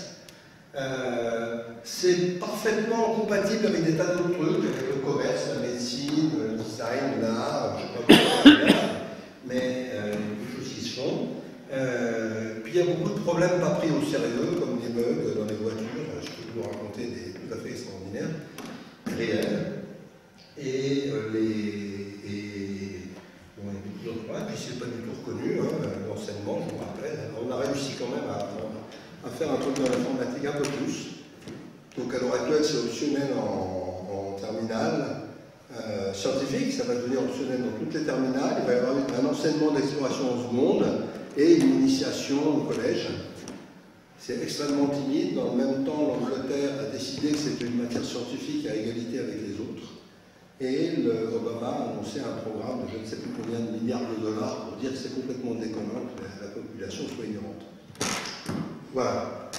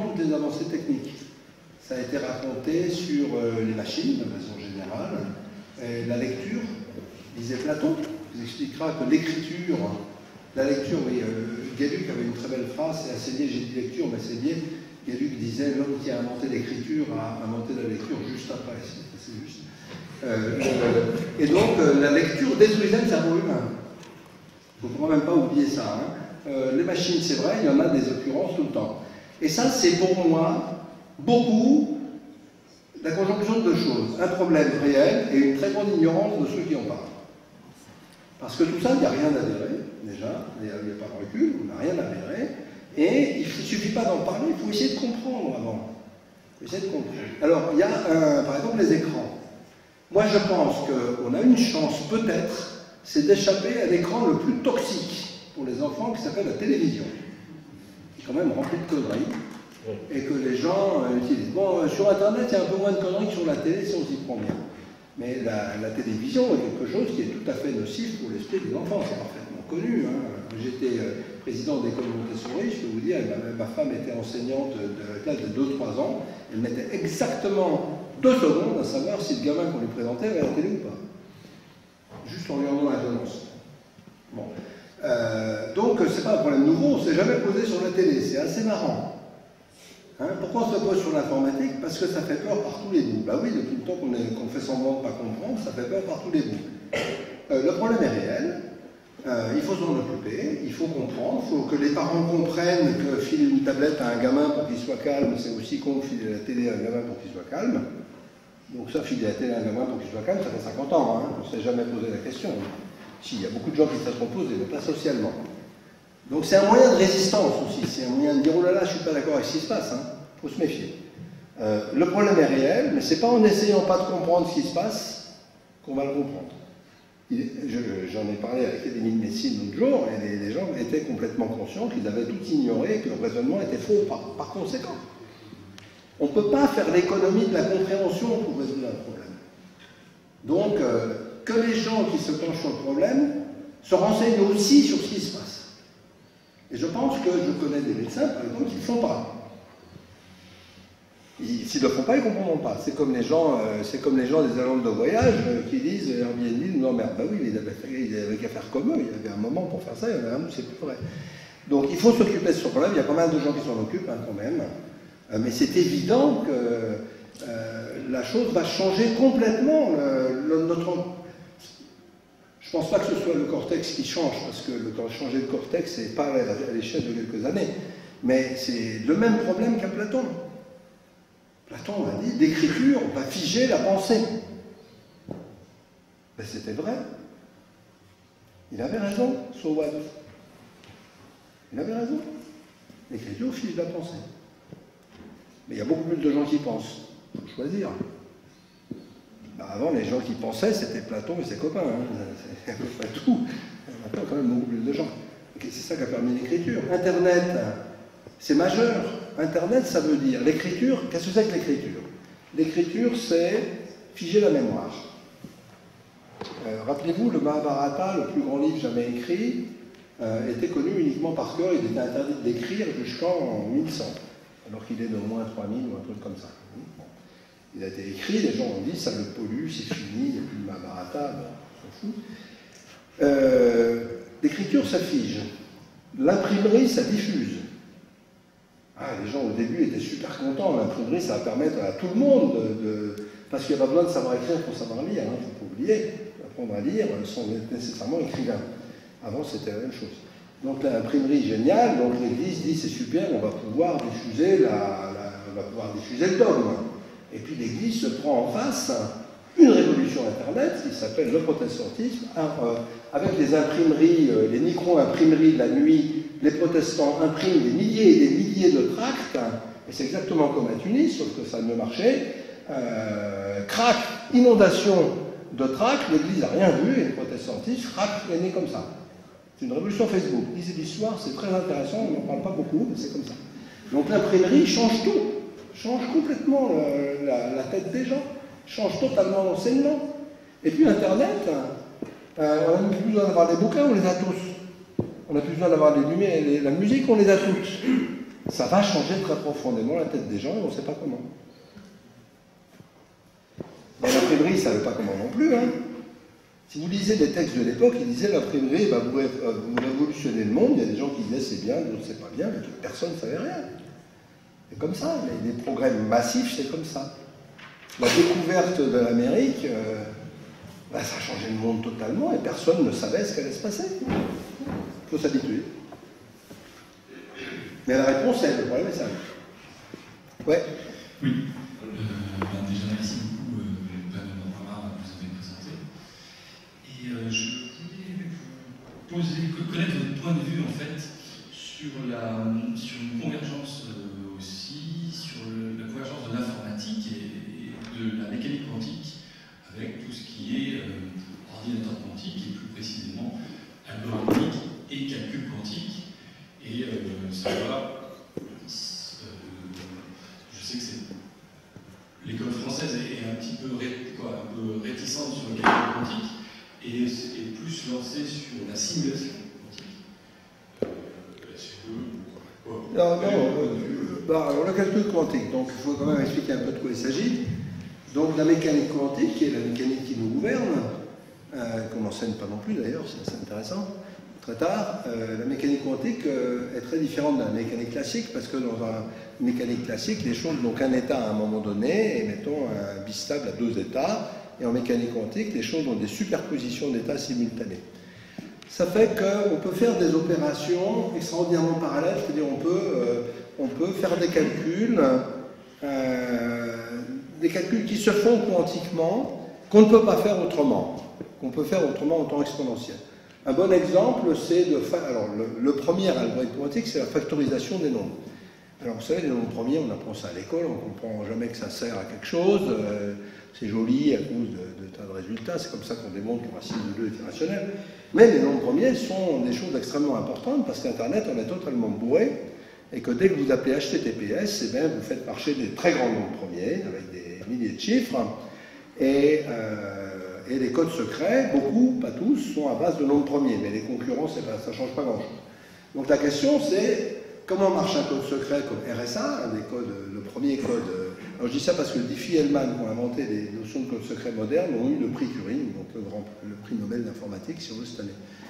Donc euh, les codes secrets que vous utilisez dès que vous faites HTTPS, sans le savoir, c'est je prends deux très grands nombres premiers, je les multiplie, ça me donne un très grand nombre premier, et pour casser le code, il faut retrouver les deux nombres premiers à partir du produit. Et ça, il y a une conjecture mathématique, on ne sait pas si c'est possible ou pas, une conjecture mathématique, c'est qu'on ne sait pas faire ça. On ne sait pas faire ça en un temps euh, pas exponentiel, donc en un temps pas euh, plus grand que la, la vie de l'univers. Et si ça, c'est pas vrai, HTTPS marche plus. Si HTTPS marche plus, on, est un peu dans l'os parce que pour toi, un truc qui ne se sert pas de HTTPS à l'heure actuelle, c'est assez difficile. Les calculs quantiques, s'ils existent, permettent de résoudre ce problème en un temps très faible. À peu près nul, en fait, hein, ça ne change rien. D'accord Si ça existe. Alors, donc il y, a deux, choses qu'on fait avec le quantique. La première, c'est de simuler des phénomènes quantiques. Il y a mais il y a aussi pas mal de gens qui bossent sur le, le quantique en France, sur le calcul quantique. Alors, il y, a, il y, a, deux choses intéressantes à dire. La première, c'est que ça avance. Il n'y a pas de machine quantique qui existe. S'il y a une machine qui sait, fait, qui sait factoriser 15 en 3 x 5, ce qui n'est pas rien. Mais le quantique a un énorme problème. C'est que pour que les calculs se fassent, il faut que ça reste quantique, c'est-à-dire qu'il n'y ait pas de décohérence, c'est-à-dire que ça ne passe pas euh, au non quantique. Et ça, c'est super dur. Donc à l'heure actuelle, il y a une seule machine qui se prétend quantique, mais qui n'est pas un ordinateur, qui est D-Wave. Ce n'est pas du tout un ordinateur, elle ne sert qu'un seul algorithme. Et c'est pas clair qu'elle le fasse mieux encore que, d'autres méthodes, mais bon, elle est vraiment quantique, mais ce n'est pas un ordinateur. S'il y a un ordinateur quantique, les algorithmes actuels de la sécurité vont être cassés.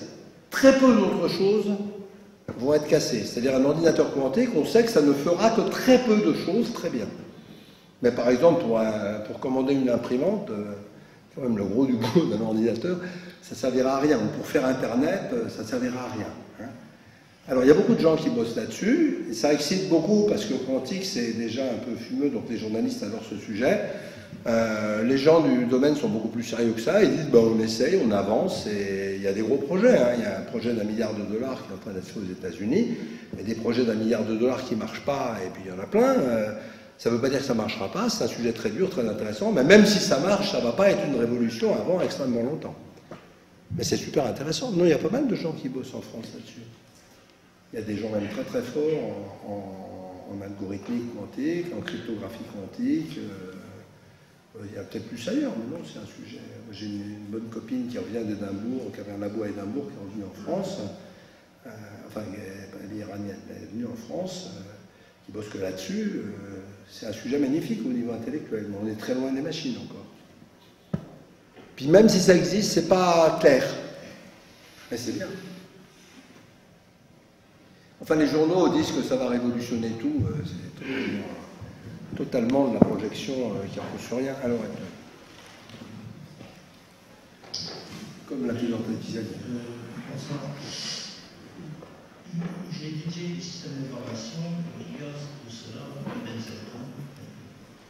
Avait euh, parlé de l'intelligence artificielle, de cette révolution que les Japonais espéraient faire euh, en noyant les Européens et les Américains sur. Et euh, bon, il y avait quelques exercices qui me plaisaient bien, notamment, c'est effectivement comment choisir un bain le mieux adapté, qui soit le mieux adapté au fromage, à la multiplicité à la vraiment de fromage qui existe sur Terre. Donc, euh, bon, quelle est devenue cette intelligence artificielle Alors, c'est un vaste et intéressant sujet. Je ne peux pas répondre, je peux pas répondre, mais je vais. L'intelligence artificielle, c'est né de Turing, toujours lui, qui a dit, euh, ben, après tout, le cerveau, c'est que jamais qu'une machine, euh, est-ce qu'on peut faire une machine aussi intelligente que le cerveau, une machine qui nous ressemble et tout? Euh, Bon, lui, il n'avait pas du tout l'ordinateur, Turing, quand il disait ça, ou quasiment pas. Donc, le test de Turing, c'est est-ce qu'on peut, dans un dialogue, je simplifie, mais est-ce qu'on peut, dans un dialogue, reconnaître si c'est un ordinateur ou, un homme qui parle? En fait, c'est probablement pas un test très dur, ça. après, les gens se sont mis à dire, ben, on va essayer, puis ils ont commencé à faire des trucs intéressants. Euh, qui avait l'air intéressant, puis ils, ont, ils sont partis, euh, ils sont partis euh, voilà, dans l'exagération, le... et ils ont promis la Lune, plein de fois, et ça s'est cassé la gueule avec une régularité métronomique. Mais par contre, énormément des concepts fondamentaux de l'informatique moderne sortent de là. Sortent des gens qui ne faisaient pas comme tout le monde. Donc toute la programmation moderne sort de là, pas de, pas de l'industrie IBM et tout ça, mais des gens qui essayaient de faire autre chose. Ils ont échoué sur la plupart de leurs objectifs, mais ils ont réussi par effet de bord sur beaucoup d'autres. C'est très intéressant. Tout traitement d'image moderne, au début, s'appelait l'intelligence artificielle. Donc vous avez plein de pans de l'informatique qui sont totalement réels et vraiment actifs, qui s'appelaient avant intelligence artificielle, et dont les gens prennent, prennent, grand soin de dire que ce n'est pas de l'intelligence artificielle, c'est du traitement d'image, c'est du traitement du son. Avant, on appelait intelligence artificielle puisque ce n'était pas de la gestion et du calcul mathématique. Bon, mais il s'est passé, il y a des gens qui ont aussi travaillé sur d'autres sujets locaux de l'intelligence artificielle, l'apprentissage. Est-ce qu'apprendre demande de l'intelligence? C'est une question pas du tout évidente en psychologie. Hein. Est-ce qu'on d'être intelligent pour apprendre? Parce que euh, les gens qui parlent d'intelligence artificielle comme ça, par exemple à la radio, il y en a eu beaucoup ces derniers temps, il y a un truc qu'ils font soigneusement pas, c'est de définir le mot intelligence. Ah, évidemment, si on ne définit pas les mots, c'est vachement plus facile de faire un discours. Hein. Euh, ou si on fait des, définitions à géométrie variable. Mais par contre, l'apprentissage, ça, ça se définit. Euh, si on dit la créativité, alors actuelle, on au degré zéro, il ne s'est rien passé. L'apprentissage, s'est passé beaucoup de choses.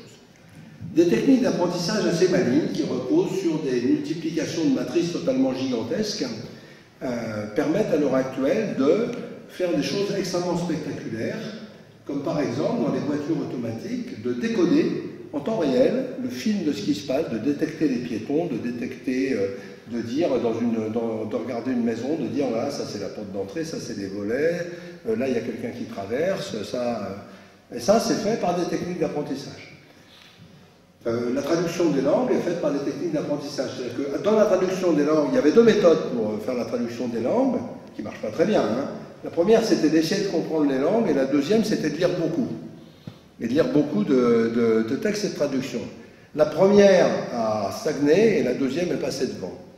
Donc la traduction des langues à l'heure actuelle est fondée sur de l'apprentissage, elle lit beaucoup, elle fait beaucoup de comparaisons, de très grandes statistiques, avec des méthodes très malignes, et très simples, très simples, euh, qui ont été... Vous avez tout le cours de Yann Lequin au Collège de France qui écoute que ça cette année. Yann Lequin, c'est directeur scientifique de Facebook, qui est un des créateurs de ça. Et ces techniques marchent dans énormément de choses. La reconnaissance de la parole, mais aussi très probablement des choses comme le diagnostic médical, etc. Mais il y a deux sortes d'apprentissage. Et ça, Turing le savait. Il disait il y a l'apprentissage supervisé.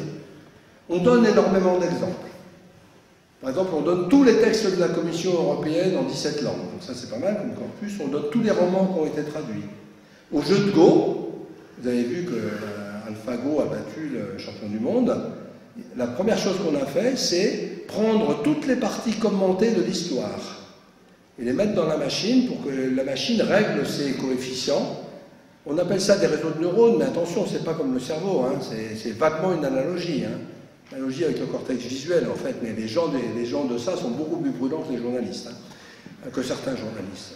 Euh, donc euh, on a passé toutes les parties. Ensuite, on a fait jouer la, machine des millions de parties contre elle-même. Mais nous, on ne marche pas comme ça. Un gamin, il apprend à parler, il n'y a personne qui lui apprend à parler. On appelle l'apprentissage non supervisé. Personne ne lui apprend à parler, on lui dit vaguement non, ça c'est pas bon.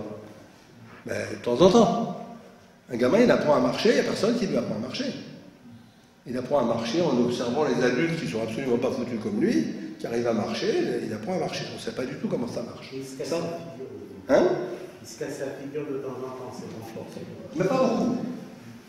Le renforcement, alors il y, a un truc simple, il y a deux méthodes d'apprentissage, c'est la supervision et le renforcement. Le renforcement, on dit ça c'est bon, ça c'est pas bon. En gros, les, de renforcement, ça marche mal, comparé à d'autres. Mais c'est utile. Mais c'est pas dominant. Avant, mais toutes les techniques qui faisaient surtout du renforcement, il euh, faut faire trop d'expérience. Et, nous, quand on apprend des trucs, euh, on fait. Hein, mais ça a vraiment beaucoup progressé l'apprentissage. Et ça progresse beaucoup, mais par contre, c'est un bouffeur de calcul monstrueux. Par exemple, vous partez d'un système qui sont des grandes matrices, il y a euh, à l'heure actuelle entre 1 et 100 millions de coefficients qui vont être réglés avec des, des d'analyse linéaire et des centres de gradient, c'est très compliqué. Les programmes sont entre une et deux pages hein, pour faire ça, c'est dans les bons langages. Toi, tu connais bien ça. Euh, et c'est, euh, ça, ça marche. Mais il y a plein d'autres trucs qui ne marchent absolument pas. Donc les gens, dans les commentaires, ils disent on sait apprendre, donc on sait créer. Ben, ça se saurait. Non, ça n'a rien à voir. Donc euh, ce domaine marche très bien, d'autres pas du tout. Ce domaine va avoir des conséquences importantes. Par exemple, pour conduire une bagnole, il y a intérêt à comprendre le paysage hein, dans une ville. c'est assez remarquable. Donc vous avez tous les cours au collège qui sont vraiment bien. Et puis, ben, dans d'autres domaines, la réponse est non. Et puis il y a beaucoup de choses qui demandent pas l'intelligence. Les mathématiques demandent de l'intelligence, apparemment. C'est la création qui en demande. La notion de preuve depuis euh, Leibniz, une démonstration mathématique, la définition, c'est que ça doit être vérifiable par une machine. Ça, c'est Leibniz. Et c'est Turing après qui a montré, c'était Gödel a montré qu'on ne pouvait pas faire des mathématiques comme ça. Mais donc voilà, donc c'est normal qu'on sache vérifier avec une machine. Mais mais le théorème là, c'est pas la machine qui l'a inventé. Hein. Et la preuve, c'est la même que celle qu'avaient fait les hommes dans le cas précis. Donc les gens disent oui, mais on va inventer des nouvelles preuves. Alors par contre, il y a des succès extraordinaires. Par exemple, il y a un succès qui est majeur à l'heure actuelle dans l'industrie, que j'ai beaucoup enseigné cette année, c'est vous prenez une, une formule booléenne. Vrai, faux et ou non. Le calcul le plus con. Vrai, faux et ou non. D'accord? A implique B et ce calcul est le plus mystérieux des mathématiques, on ne sait rien dessus, presque. Et on pensait jusqu'à il y a 15 ans que ce n'était pas possible de calculer des formules avec vrai, faux et ou non, savoir si elles peuvent être vraies ou pas. Euh, euh, voilà, vous dites, vous dites tous les hommes sont mortels, Socrate est un homme, donc Socrate est mortel, c'est une psychologie de monde, ça c'est vrai, facile à voir, mais vous prenez par exemple le syllogisme Shadok, tous les chats sont mortels, Socrate est mortel, donc Socrate est un chat. Est-ce que ça c'est vrai ou pas? La réponse est non, c'est pas tout à fait vrai, sauf s'il y a un chat qui s'appelle Socrate. Mais euh, euh, bon voilà, mais ces problèmes-là, trois variables, on peut les traiter à la main, mais à mille variables, on pensait qu'on ne saurait pas. Maintenant, on sait les traiter avec 2 euh, millions de variables. Et on ne sait pas pourquoi. Un très beau cours que je fais, il s'appelle SAT, vous pouvez regarder, ça s'appelle SAT. C'est des algorithmes absolument sublimes et on ne sait pas pourquoi ils marchent. Ils marchent. Et l'apprentissage, c'est pareil. Les techniques d'apprentissage actuelles, elles marchent et on ne sait pas pourquoi. On soupçonne vaguement qu'il y a des raisons, mais c'est bien ça, c'est cool. Non, mais l'informatique, c'est marrant. Euh, donc, mais dans des tas d'autres domaines, il ne se passe rien. Mais par exemple, la reconnaissance d'image, c'est super bon la compréhension du son avec le traitement de signal qui est plus d'intelligence artificielle. Je vais vous montrer une très belle vidéo où euh, Patrick Flandrin de la explique que quand une chauve-souris vole, pour elle, un moustique à un mètre, c'est une sirène hurlante localisée avec une très grande précision. C'est très très beau. Euh, avant c'était l'intelligence artificielle, maintenant c'en est plus.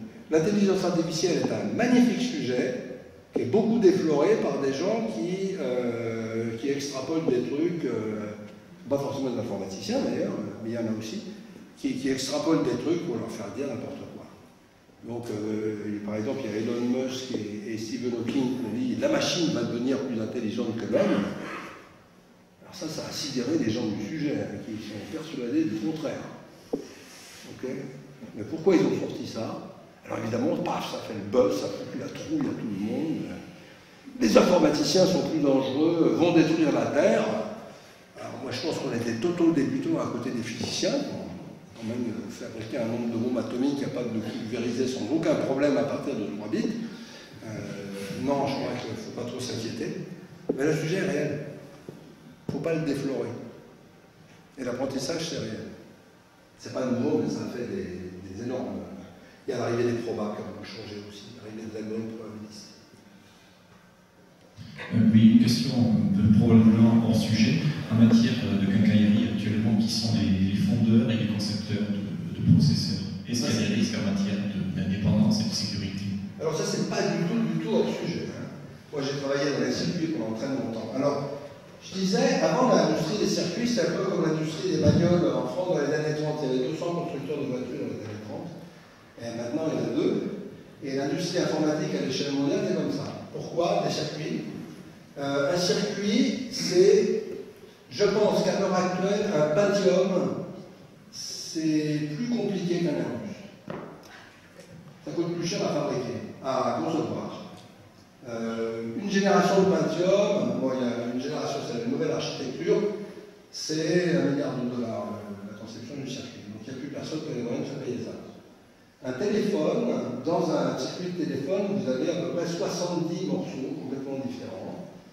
Euh, il y a 2 milliards de transistors, il ne faut pas bouffer la pile du tout, c'est super dur. Il y a de moins en moins de gens qui conçoivent et de moins en moins de gens qui fabriquent. Donc en fabrication, je crois qu'il en reste 4 ou 5. Donc j'en ai parlé tout à l'heure, il y a Intel aux États-Unis, IBM a arrêté fondamentalement, parce que c'était très très fort, mais ils pensent qu'ils perdent de l'argent. Il y a TSMC à Taïwan, euh, il, y a, il, y a, en Chine, et puis il y a Abu Dhabi. En France, il en reste une, qui s'appelle ST Microelectronics, qui a décidé d'arrêter de suivre les générations. Vous savez, la loi de Moore, euh, ça fait 30 ans qu'on me dit que la loi de Moore va s'arrêter. La loi de Moore, c'est que le nombre de transistors par unité de surface double tous les deux ans. Ça fait 30 ans que j'entends qu'elle va s'arrêter. C'est rigolo. Ben, elle va s'arrêter, pas pour des raisons physiques. Parce qu'on dit on va arriver à la mécanique quantique. Il y a très longtemps qu'on est. Hein. Les transistors, c'est la mécanique quantique depuis leur invention. Euh, bon, c'est assez dur, hein, c'est compliqué. On, est à l'heure actuelle dans des technos de 14 nanomètres, c'est la chiffres font 14 nanomètres, la prochaine techno va faire 5 nanomètres. Euh, ça marche encore, c'est de plus en plus compliqué, c'est de plus en plus cher à concevoir, de plus en plus cher à fabriquer. Euh, l'avantage, c'est que plus c'est petit, moins ça consomme, hein, en particulier. donc la loi de va s'arrêter, ça a été annoncé par l'industrie, mais l'industrie aussi dit c'est pas pour des raisons physiques, c'est parce qu'on n'a plus les moyens de se la payer. La loi de Moore n'était pas. Les gens pensent que c'est la réduction de taille des circuits qui fait qu'on est passé de 4000 transistors sur le premier chip à 4 milliards maintenant sur un chip banal. C'est un million en fait, hein, c'est rien. Euh, cette loi n'est pas une loi de la physique, c'est une décision industrielle. Toute l'industrie s'organise pour la respecter. C'est tout, c'est une décision commune de l'industrie. C'est pas du tout une loi de la physique. Donc, euh, ils ont décidé d'arrêter, mais ils n'ont plus les moyens. Alors, il va se faire toutes sortes de circuits. Il y a une telle qui va peut-être continuer, qui va peut-être descendre au nanomètre. C'est une bénédiction pour la recherche, parce que maintenant, on va trouver autre chose que le silicium. Il y a des tas d'autres candidats, mais le silicium, ça a tellement bien marché que les autres candidats n'avaient aucune chance. C'est comme la bagnole à essence, hein, euh, tout le reste n'a aucune chance. Et ça va peut-être encore rester vrai d'ailleurs, maintenant que les.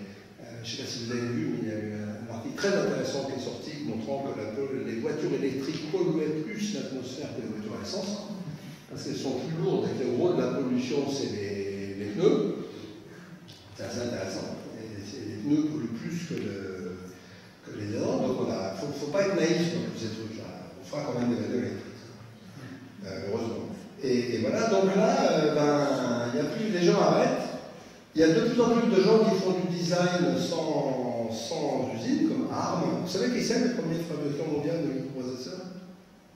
C'est pas Intel, c'est ARM, une société anglaise, qui vend les plans, comme dans Tintin.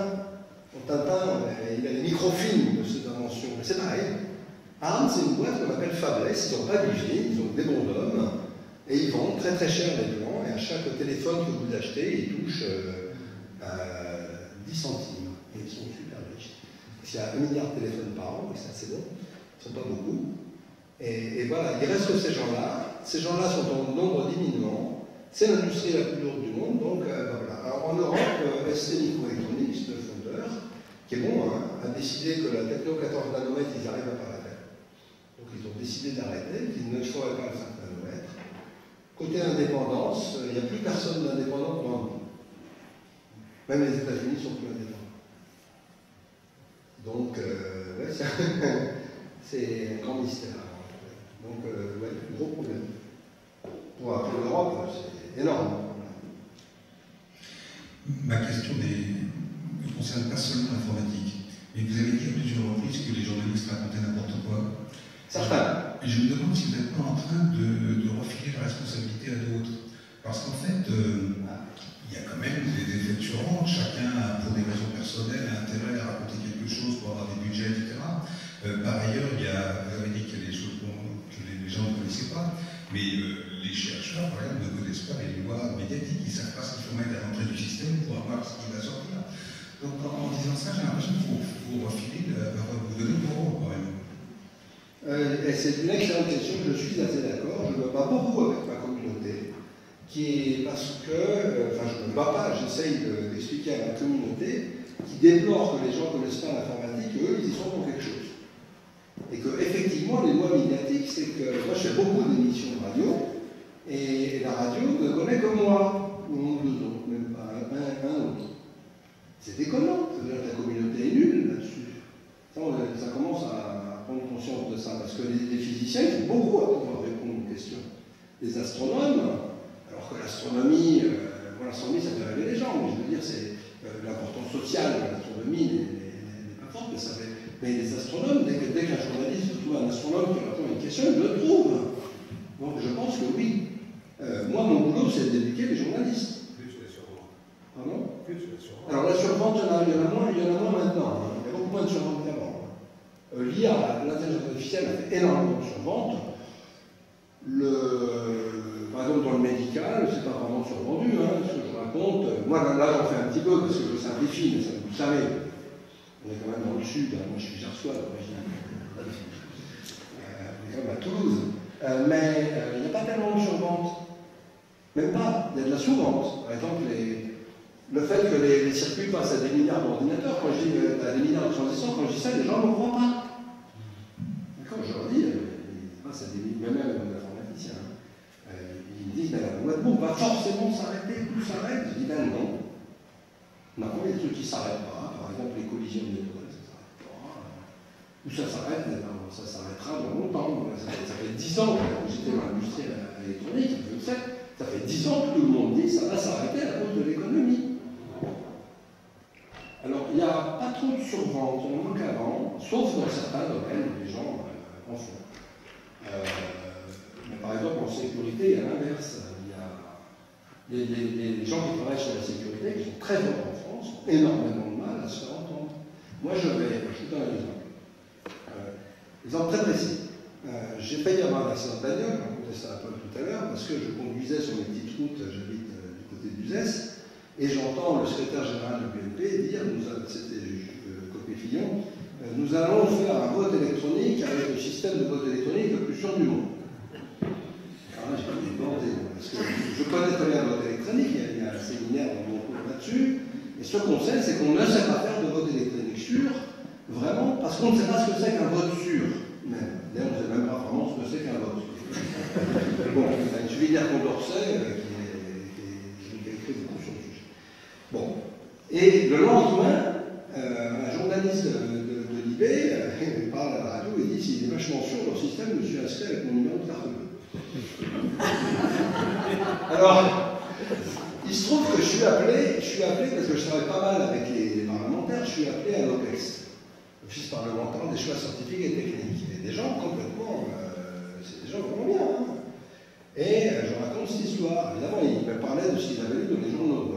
Forcément. Donc il y a un machin qui s'est fait pirater, qu'est-ce que Il dit, mais il y a beaucoup de choses à faire, par exemple sur le vote. Alors, je raconte cette histoire, et surtout les deux du MP. Et donc, euh, euh, ils me disent, mais pourtant un vote c'est très simple, hein, il suffit de compter les oui et les non. J'en ai foutu de la gueule du monde. Hein. Euh, compter les oui et les non, d'accord. Alors, comment vous êtes sûr que c'est bien les votants que vous comptez? Comment vous êtes sûr qu'il n'y a personne qui a bourré les urnes? Ça se fait, il paraît. Hein Comment vous êtes sûr que les gens ne votent pas deux fois? Comment vous êtes sûr que je peux vérifier que mon vote a bien été pris en compte et pas retourné par, la machine? Comment vous pouvez être sûr que. Alors là, il a commencé à venir et avant, c'est si compliqué que ça. C'est des élus par exemple. Hein. Je pense qu'il a de la pédagogie faire. Euh, là, c'est pas de la survente, on n'y arrive pas. Bon, on y arrive, il faut attendre que les gens se plantent. C'est assez fatigant que dans beaucoup de domaines, on explique aux gens, voilà, vous allez à 60 à l'heure, vous avez qui est là, vous allez mettre ce temps-là, je vous faites des, je ne crois pas. Après, ils reviennent et après, ils disent, on s'est tapé le mur, qu'on veut faire C'est assez vrai, bon, c'est la vie, c'est comme ça.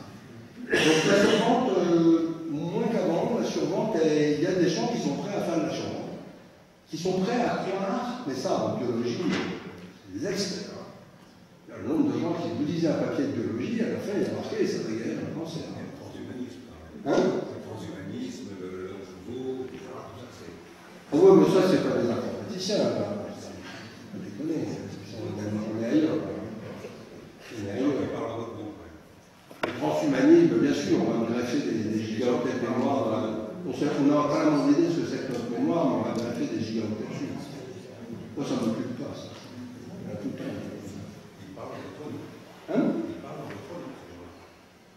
bah, il parle, mais le nombre de gens qui parlent au nom des autres, non, je veux dire, c'est un cas particulier, la phénomène est plus grand que ça. Euh, évidemment, il y, a, il y, a, des gens qui disent, euh, moi j'ai des biologistes qui parlent au nom de la biologie et qui disent, ça y est, j'ai le secret de la vie éternelle.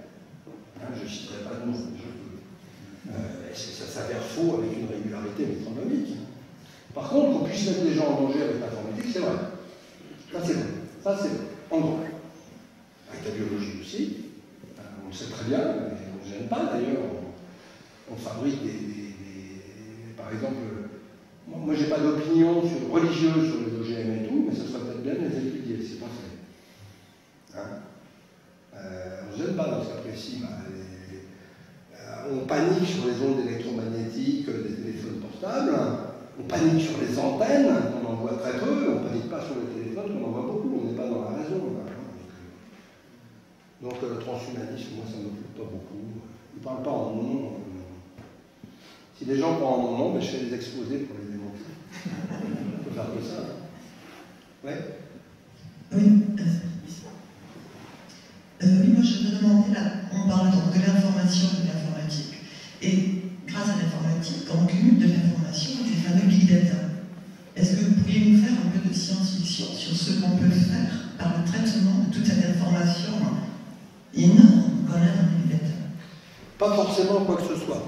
Donc euh, il y a énormément d'informations partout. Un bon exemple, c'est en biologie où les gens sont en train de scanner le monde entier et de remplir plus de disques que vous en fabriquer de séquences ADN avec une légende qui court que dès qu'on a de l'information, il suffit d'examiner pour trouver quelque chose. Et ça, c'est complètement faux. C'est complètement faux. Euh, je citais tout à l'heure un très joli papier qui montre à quel point c'est délicat de sortir d'informations même de choses simples.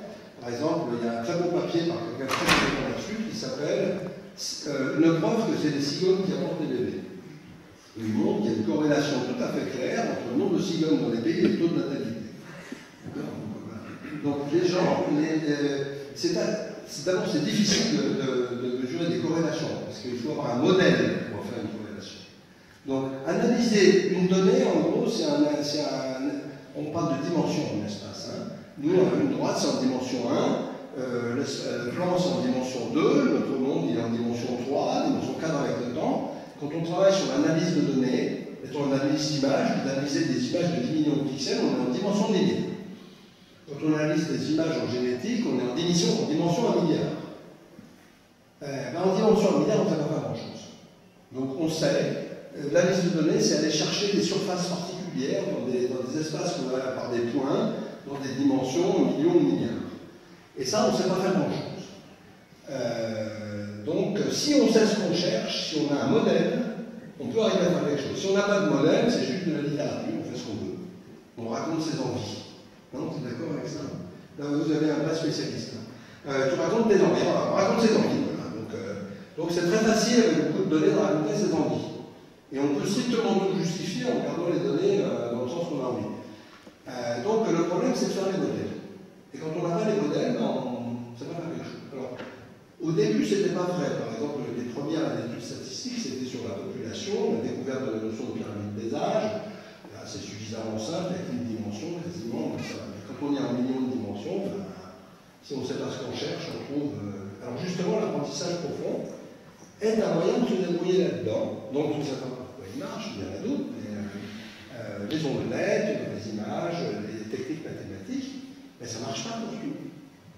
Et ça ne marche pas par hasard. Donc, euh, accumuler des données, c'est bien, en faire quelque chose, c'est autre chose. Il y a des données qui, dont on peut faire quelque chose. Par exemple, Facebook a des données fondamentales. C'est les seuls à avoir. Aucun gouvernement n'a des données de Google ou de Facebook. Ça, c'est vraiment, vraiment très important. Par exemple, euh, Google fait des traçages de maladies. Euh, ça ne marche pas si bien que ça. Hein. Ça marche pas bien si bien, mais quand même. Parce qu'il sait quelle, quelle équipe pose des questions sur la vie. Et donc, en sachant qui et où sont posés, parce que vous savez, je ne sais pas combien de gens savent que tout le monde sait où vous êtes. Tout le temps. Vous avez un téléphone dans la poche, non, ça suffit. Hein. Vous avez un téléphone dans la poche qui sait en permanence où il est. Et il y a énormément de gens qui savent où vous êtes. Euh, qui sait, par exemple, ce qui est en train d'arriver aux assurances Ça commence là. C'est très joli. Vous avez un téléphone dans la poche, donc euh, n'importe qui sait comment vous conduisez. Parce que le téléphone a un accéléromètre et ça mesure les accélérations, ça sait parfaitement si vous êtes sur la route, ça mesure les accélérations, les freinages, ça voit si vous êtes brutal ou pas, euh, etc. Donc les assurances sont très intéressées à avoir cette information, parce que les primes d'assurance vont être modulées en fonction de la façon dont vous conduisez. Euh, ça, c'est de données qui marche. Et ensuite, ben, par exemple, Facebook fait des, grandes études mondiales sur euh, qu'est-ce qui se passe Qu'est-ce que les gens dans cette région préfèrent acheter Parce qu'ils font de la pub. la pub partout. Il y en avait à plein les murs avant à Toulouse ou à Paris. Maintenant, on enlevait des murs avec nos ordinateurs. Euh, Google, c'est pas de pub. Hein. Et combien de personnes se sont demandé comment on faisait Google pour être infiniment riche en vendant rien? Vous connaissez la réponse à ça? Elle est très simple, hein, c'est euh, dire en anglais très bien, mais si c'est gratuit, c'est vous le produit. C'est ça la, définition. Voilà. Euh, et, le problème, c'est que vous êtes du système Donc, euh, donc l'analyse de données, si on sait ce qu'on cherche, qu'on a des données fiables, bien conditionnées, c'est un sacré boulot. Par exemple, il y a quelqu'un qui fait l'analyse de données en grand, maintenant c'est la CNAM. La, la CNAM, la Caisse d'assurance a une des plus grandes bases de données du monde. C'est des pétales. Et ça, c'est très secret. On ne peut pas du tout les voir, mais il y a des, gens qui travaillent là-dessus. Et ils ont des données qui sont utilisables. Et là, bah, c'est vachement intéressant Mais si on y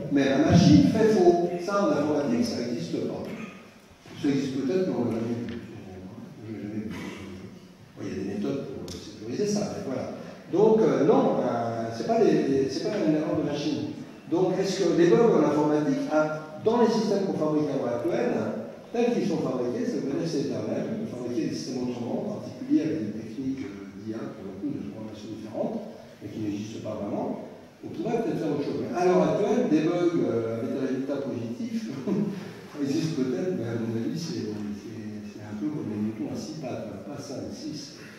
Et par contre, des bugs qui la merde, ça Par exemple, tous les problèmes de sécurité connus sont des bugs infiniment anciens. Ce qu'on appelle les zero day exploits, par exemple, ça veut dire c'est un, bug qui date du premier jour de la mise en place du premier système de, de Mac OS X trouve, tac, et qui permet d'attaquer tous depuis le. et qui n'a jamais été repéré. Alors nous, on a quand même, j'enseigne mes deux dernières années de cours, c'était comment on fait pour les bugs. On peut.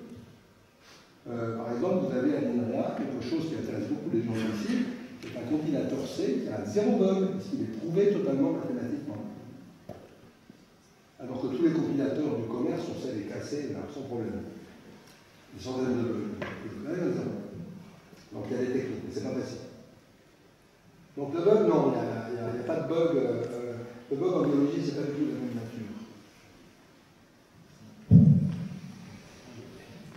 j'ai entendu parler là récemment de ce qu'on a appelé faussement, je pense, génétique des matériaux, et qui consisterait à, modéliser euh, certains matériaux d'une même famille, à en sortir euh, des, corrélations, des, régularités, et ensuite à, mettre tout ça dans des bases de données importantes et en recherchant les propriétés qu'on voudrait avoir de matériaux, à trouver, euh, grâce à ces, règles déduites empiriquement, à, trouver qu'est-ce que.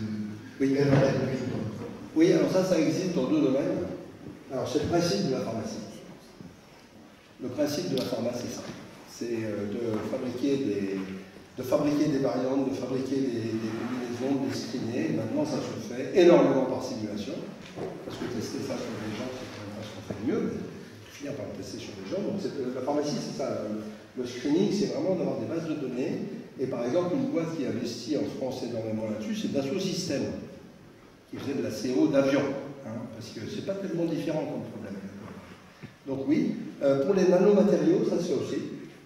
Donc pour les, petits matériaux, les assemblages de molécules en chimie, oui, ça se fait, ça. C'est pas facile, mais ça se fait. Mais là, les gens ont les modèles. Les gens ont des modèles, ils ont donc, euh, on est dans des analyses de données difficiles, mais avec des modèles, oui, ça se fait ça.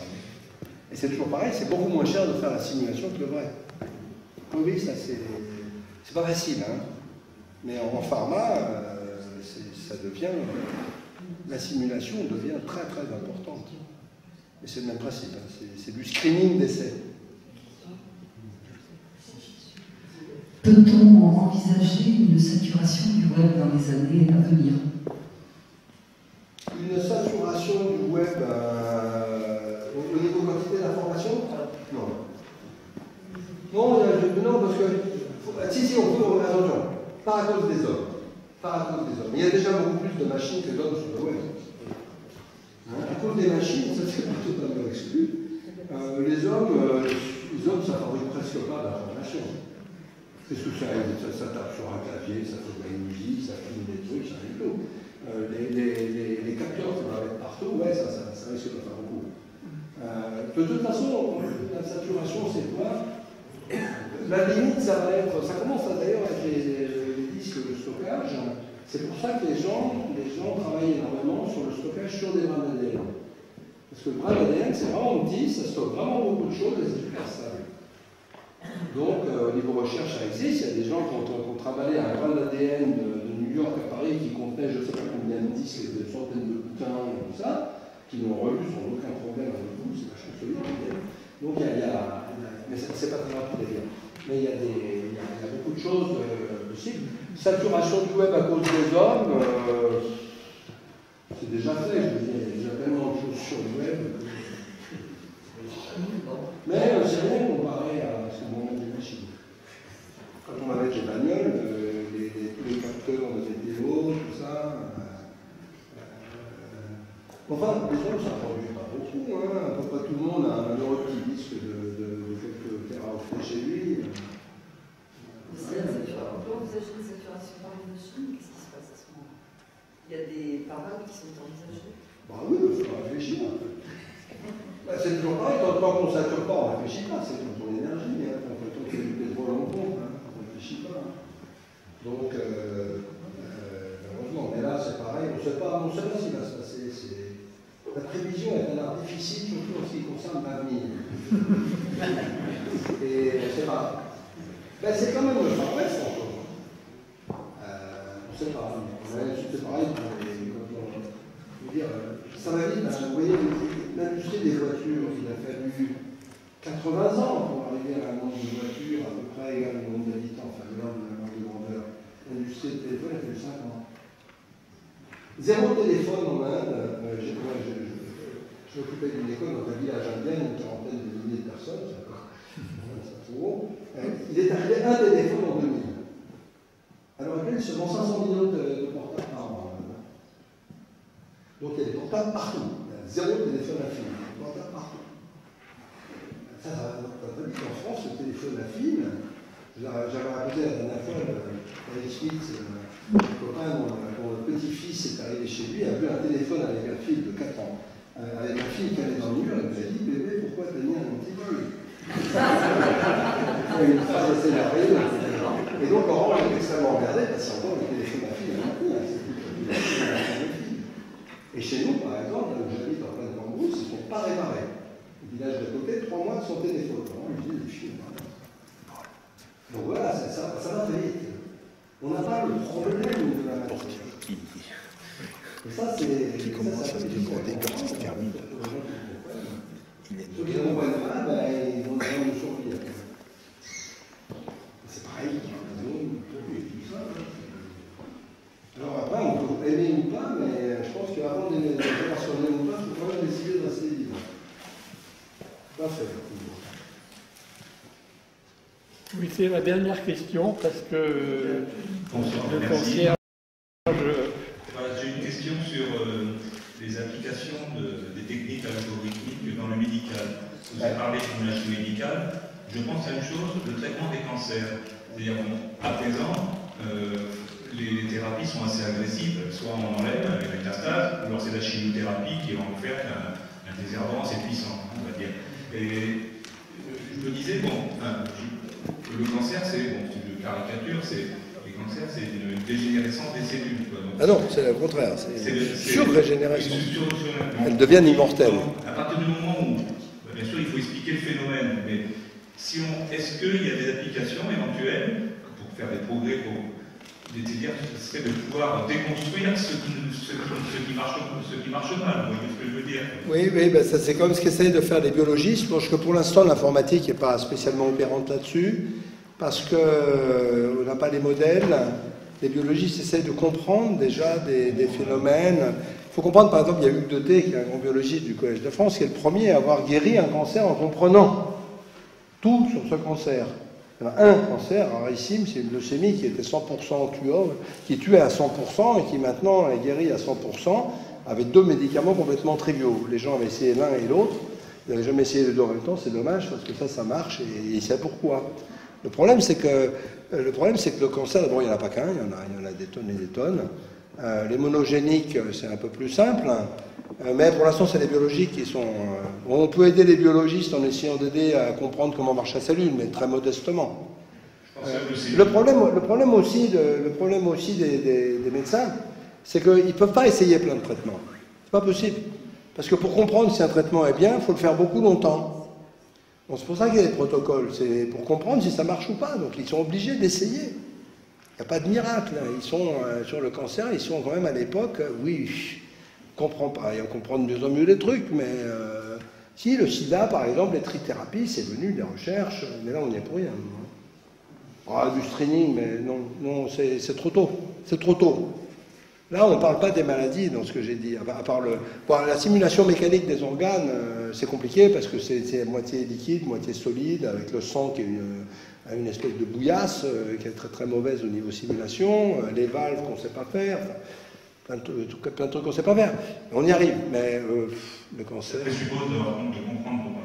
Ouais, ouais, non, on ne pourra pas la modélisation peut un peu m'aider à comprendre par des, choses comme ça, mais euh, ce qu'on peut faire mieux, ce, que ce qui est plus intéressant, c'est que ce qu'on peut peut-être aider par rapport à la biologie classique, c'est à mieux comprendre les gens normaux. Parce que la médecine ne, fonctionne qu'en étudiant les maladies. Et il y a peut-être un truc très intéressant, enfin il y a beaucoup de biologistes qui pensent qu'étudier les gens normaux, c'est pas con aussi. D'accord? Mais c'est beaucoup plus dur. Et je pensais aussi, en pensant aux leucémie, le problème des cellules souches, d'avoir des cellules souches compatibles. C'est ça, un gros problème. Il y a, il y a de l'informatique là-dedans, mais par exemple, si vous, si je terminerai là-dessus, mais il faut lire le bouquin de Craig Venter qui s'appelle Life at the Speed of Light. Donc Craig Venter a voulu vraiment démonter la théorie vitaliste qui disait que dans une cellule, il y a un machin en plus qui s'appelle la vie. Et donc il a fabriqué un organisme totalement synthétique en fabriquant l'ADN à partir de produits du commerce et là, il a fallu beaucoup d'informatique pour comprendre comment faire une chaîne de, 20 millions de nucléotides à partir de, la TCG. Hein. Donc là, euh, il y a un très beau bouquin qui s'appelle Life at the Speed of Light, puis il y a une Française qui a joué un rôle déterminant là-dedans, Martic, qui est à Bordeaux.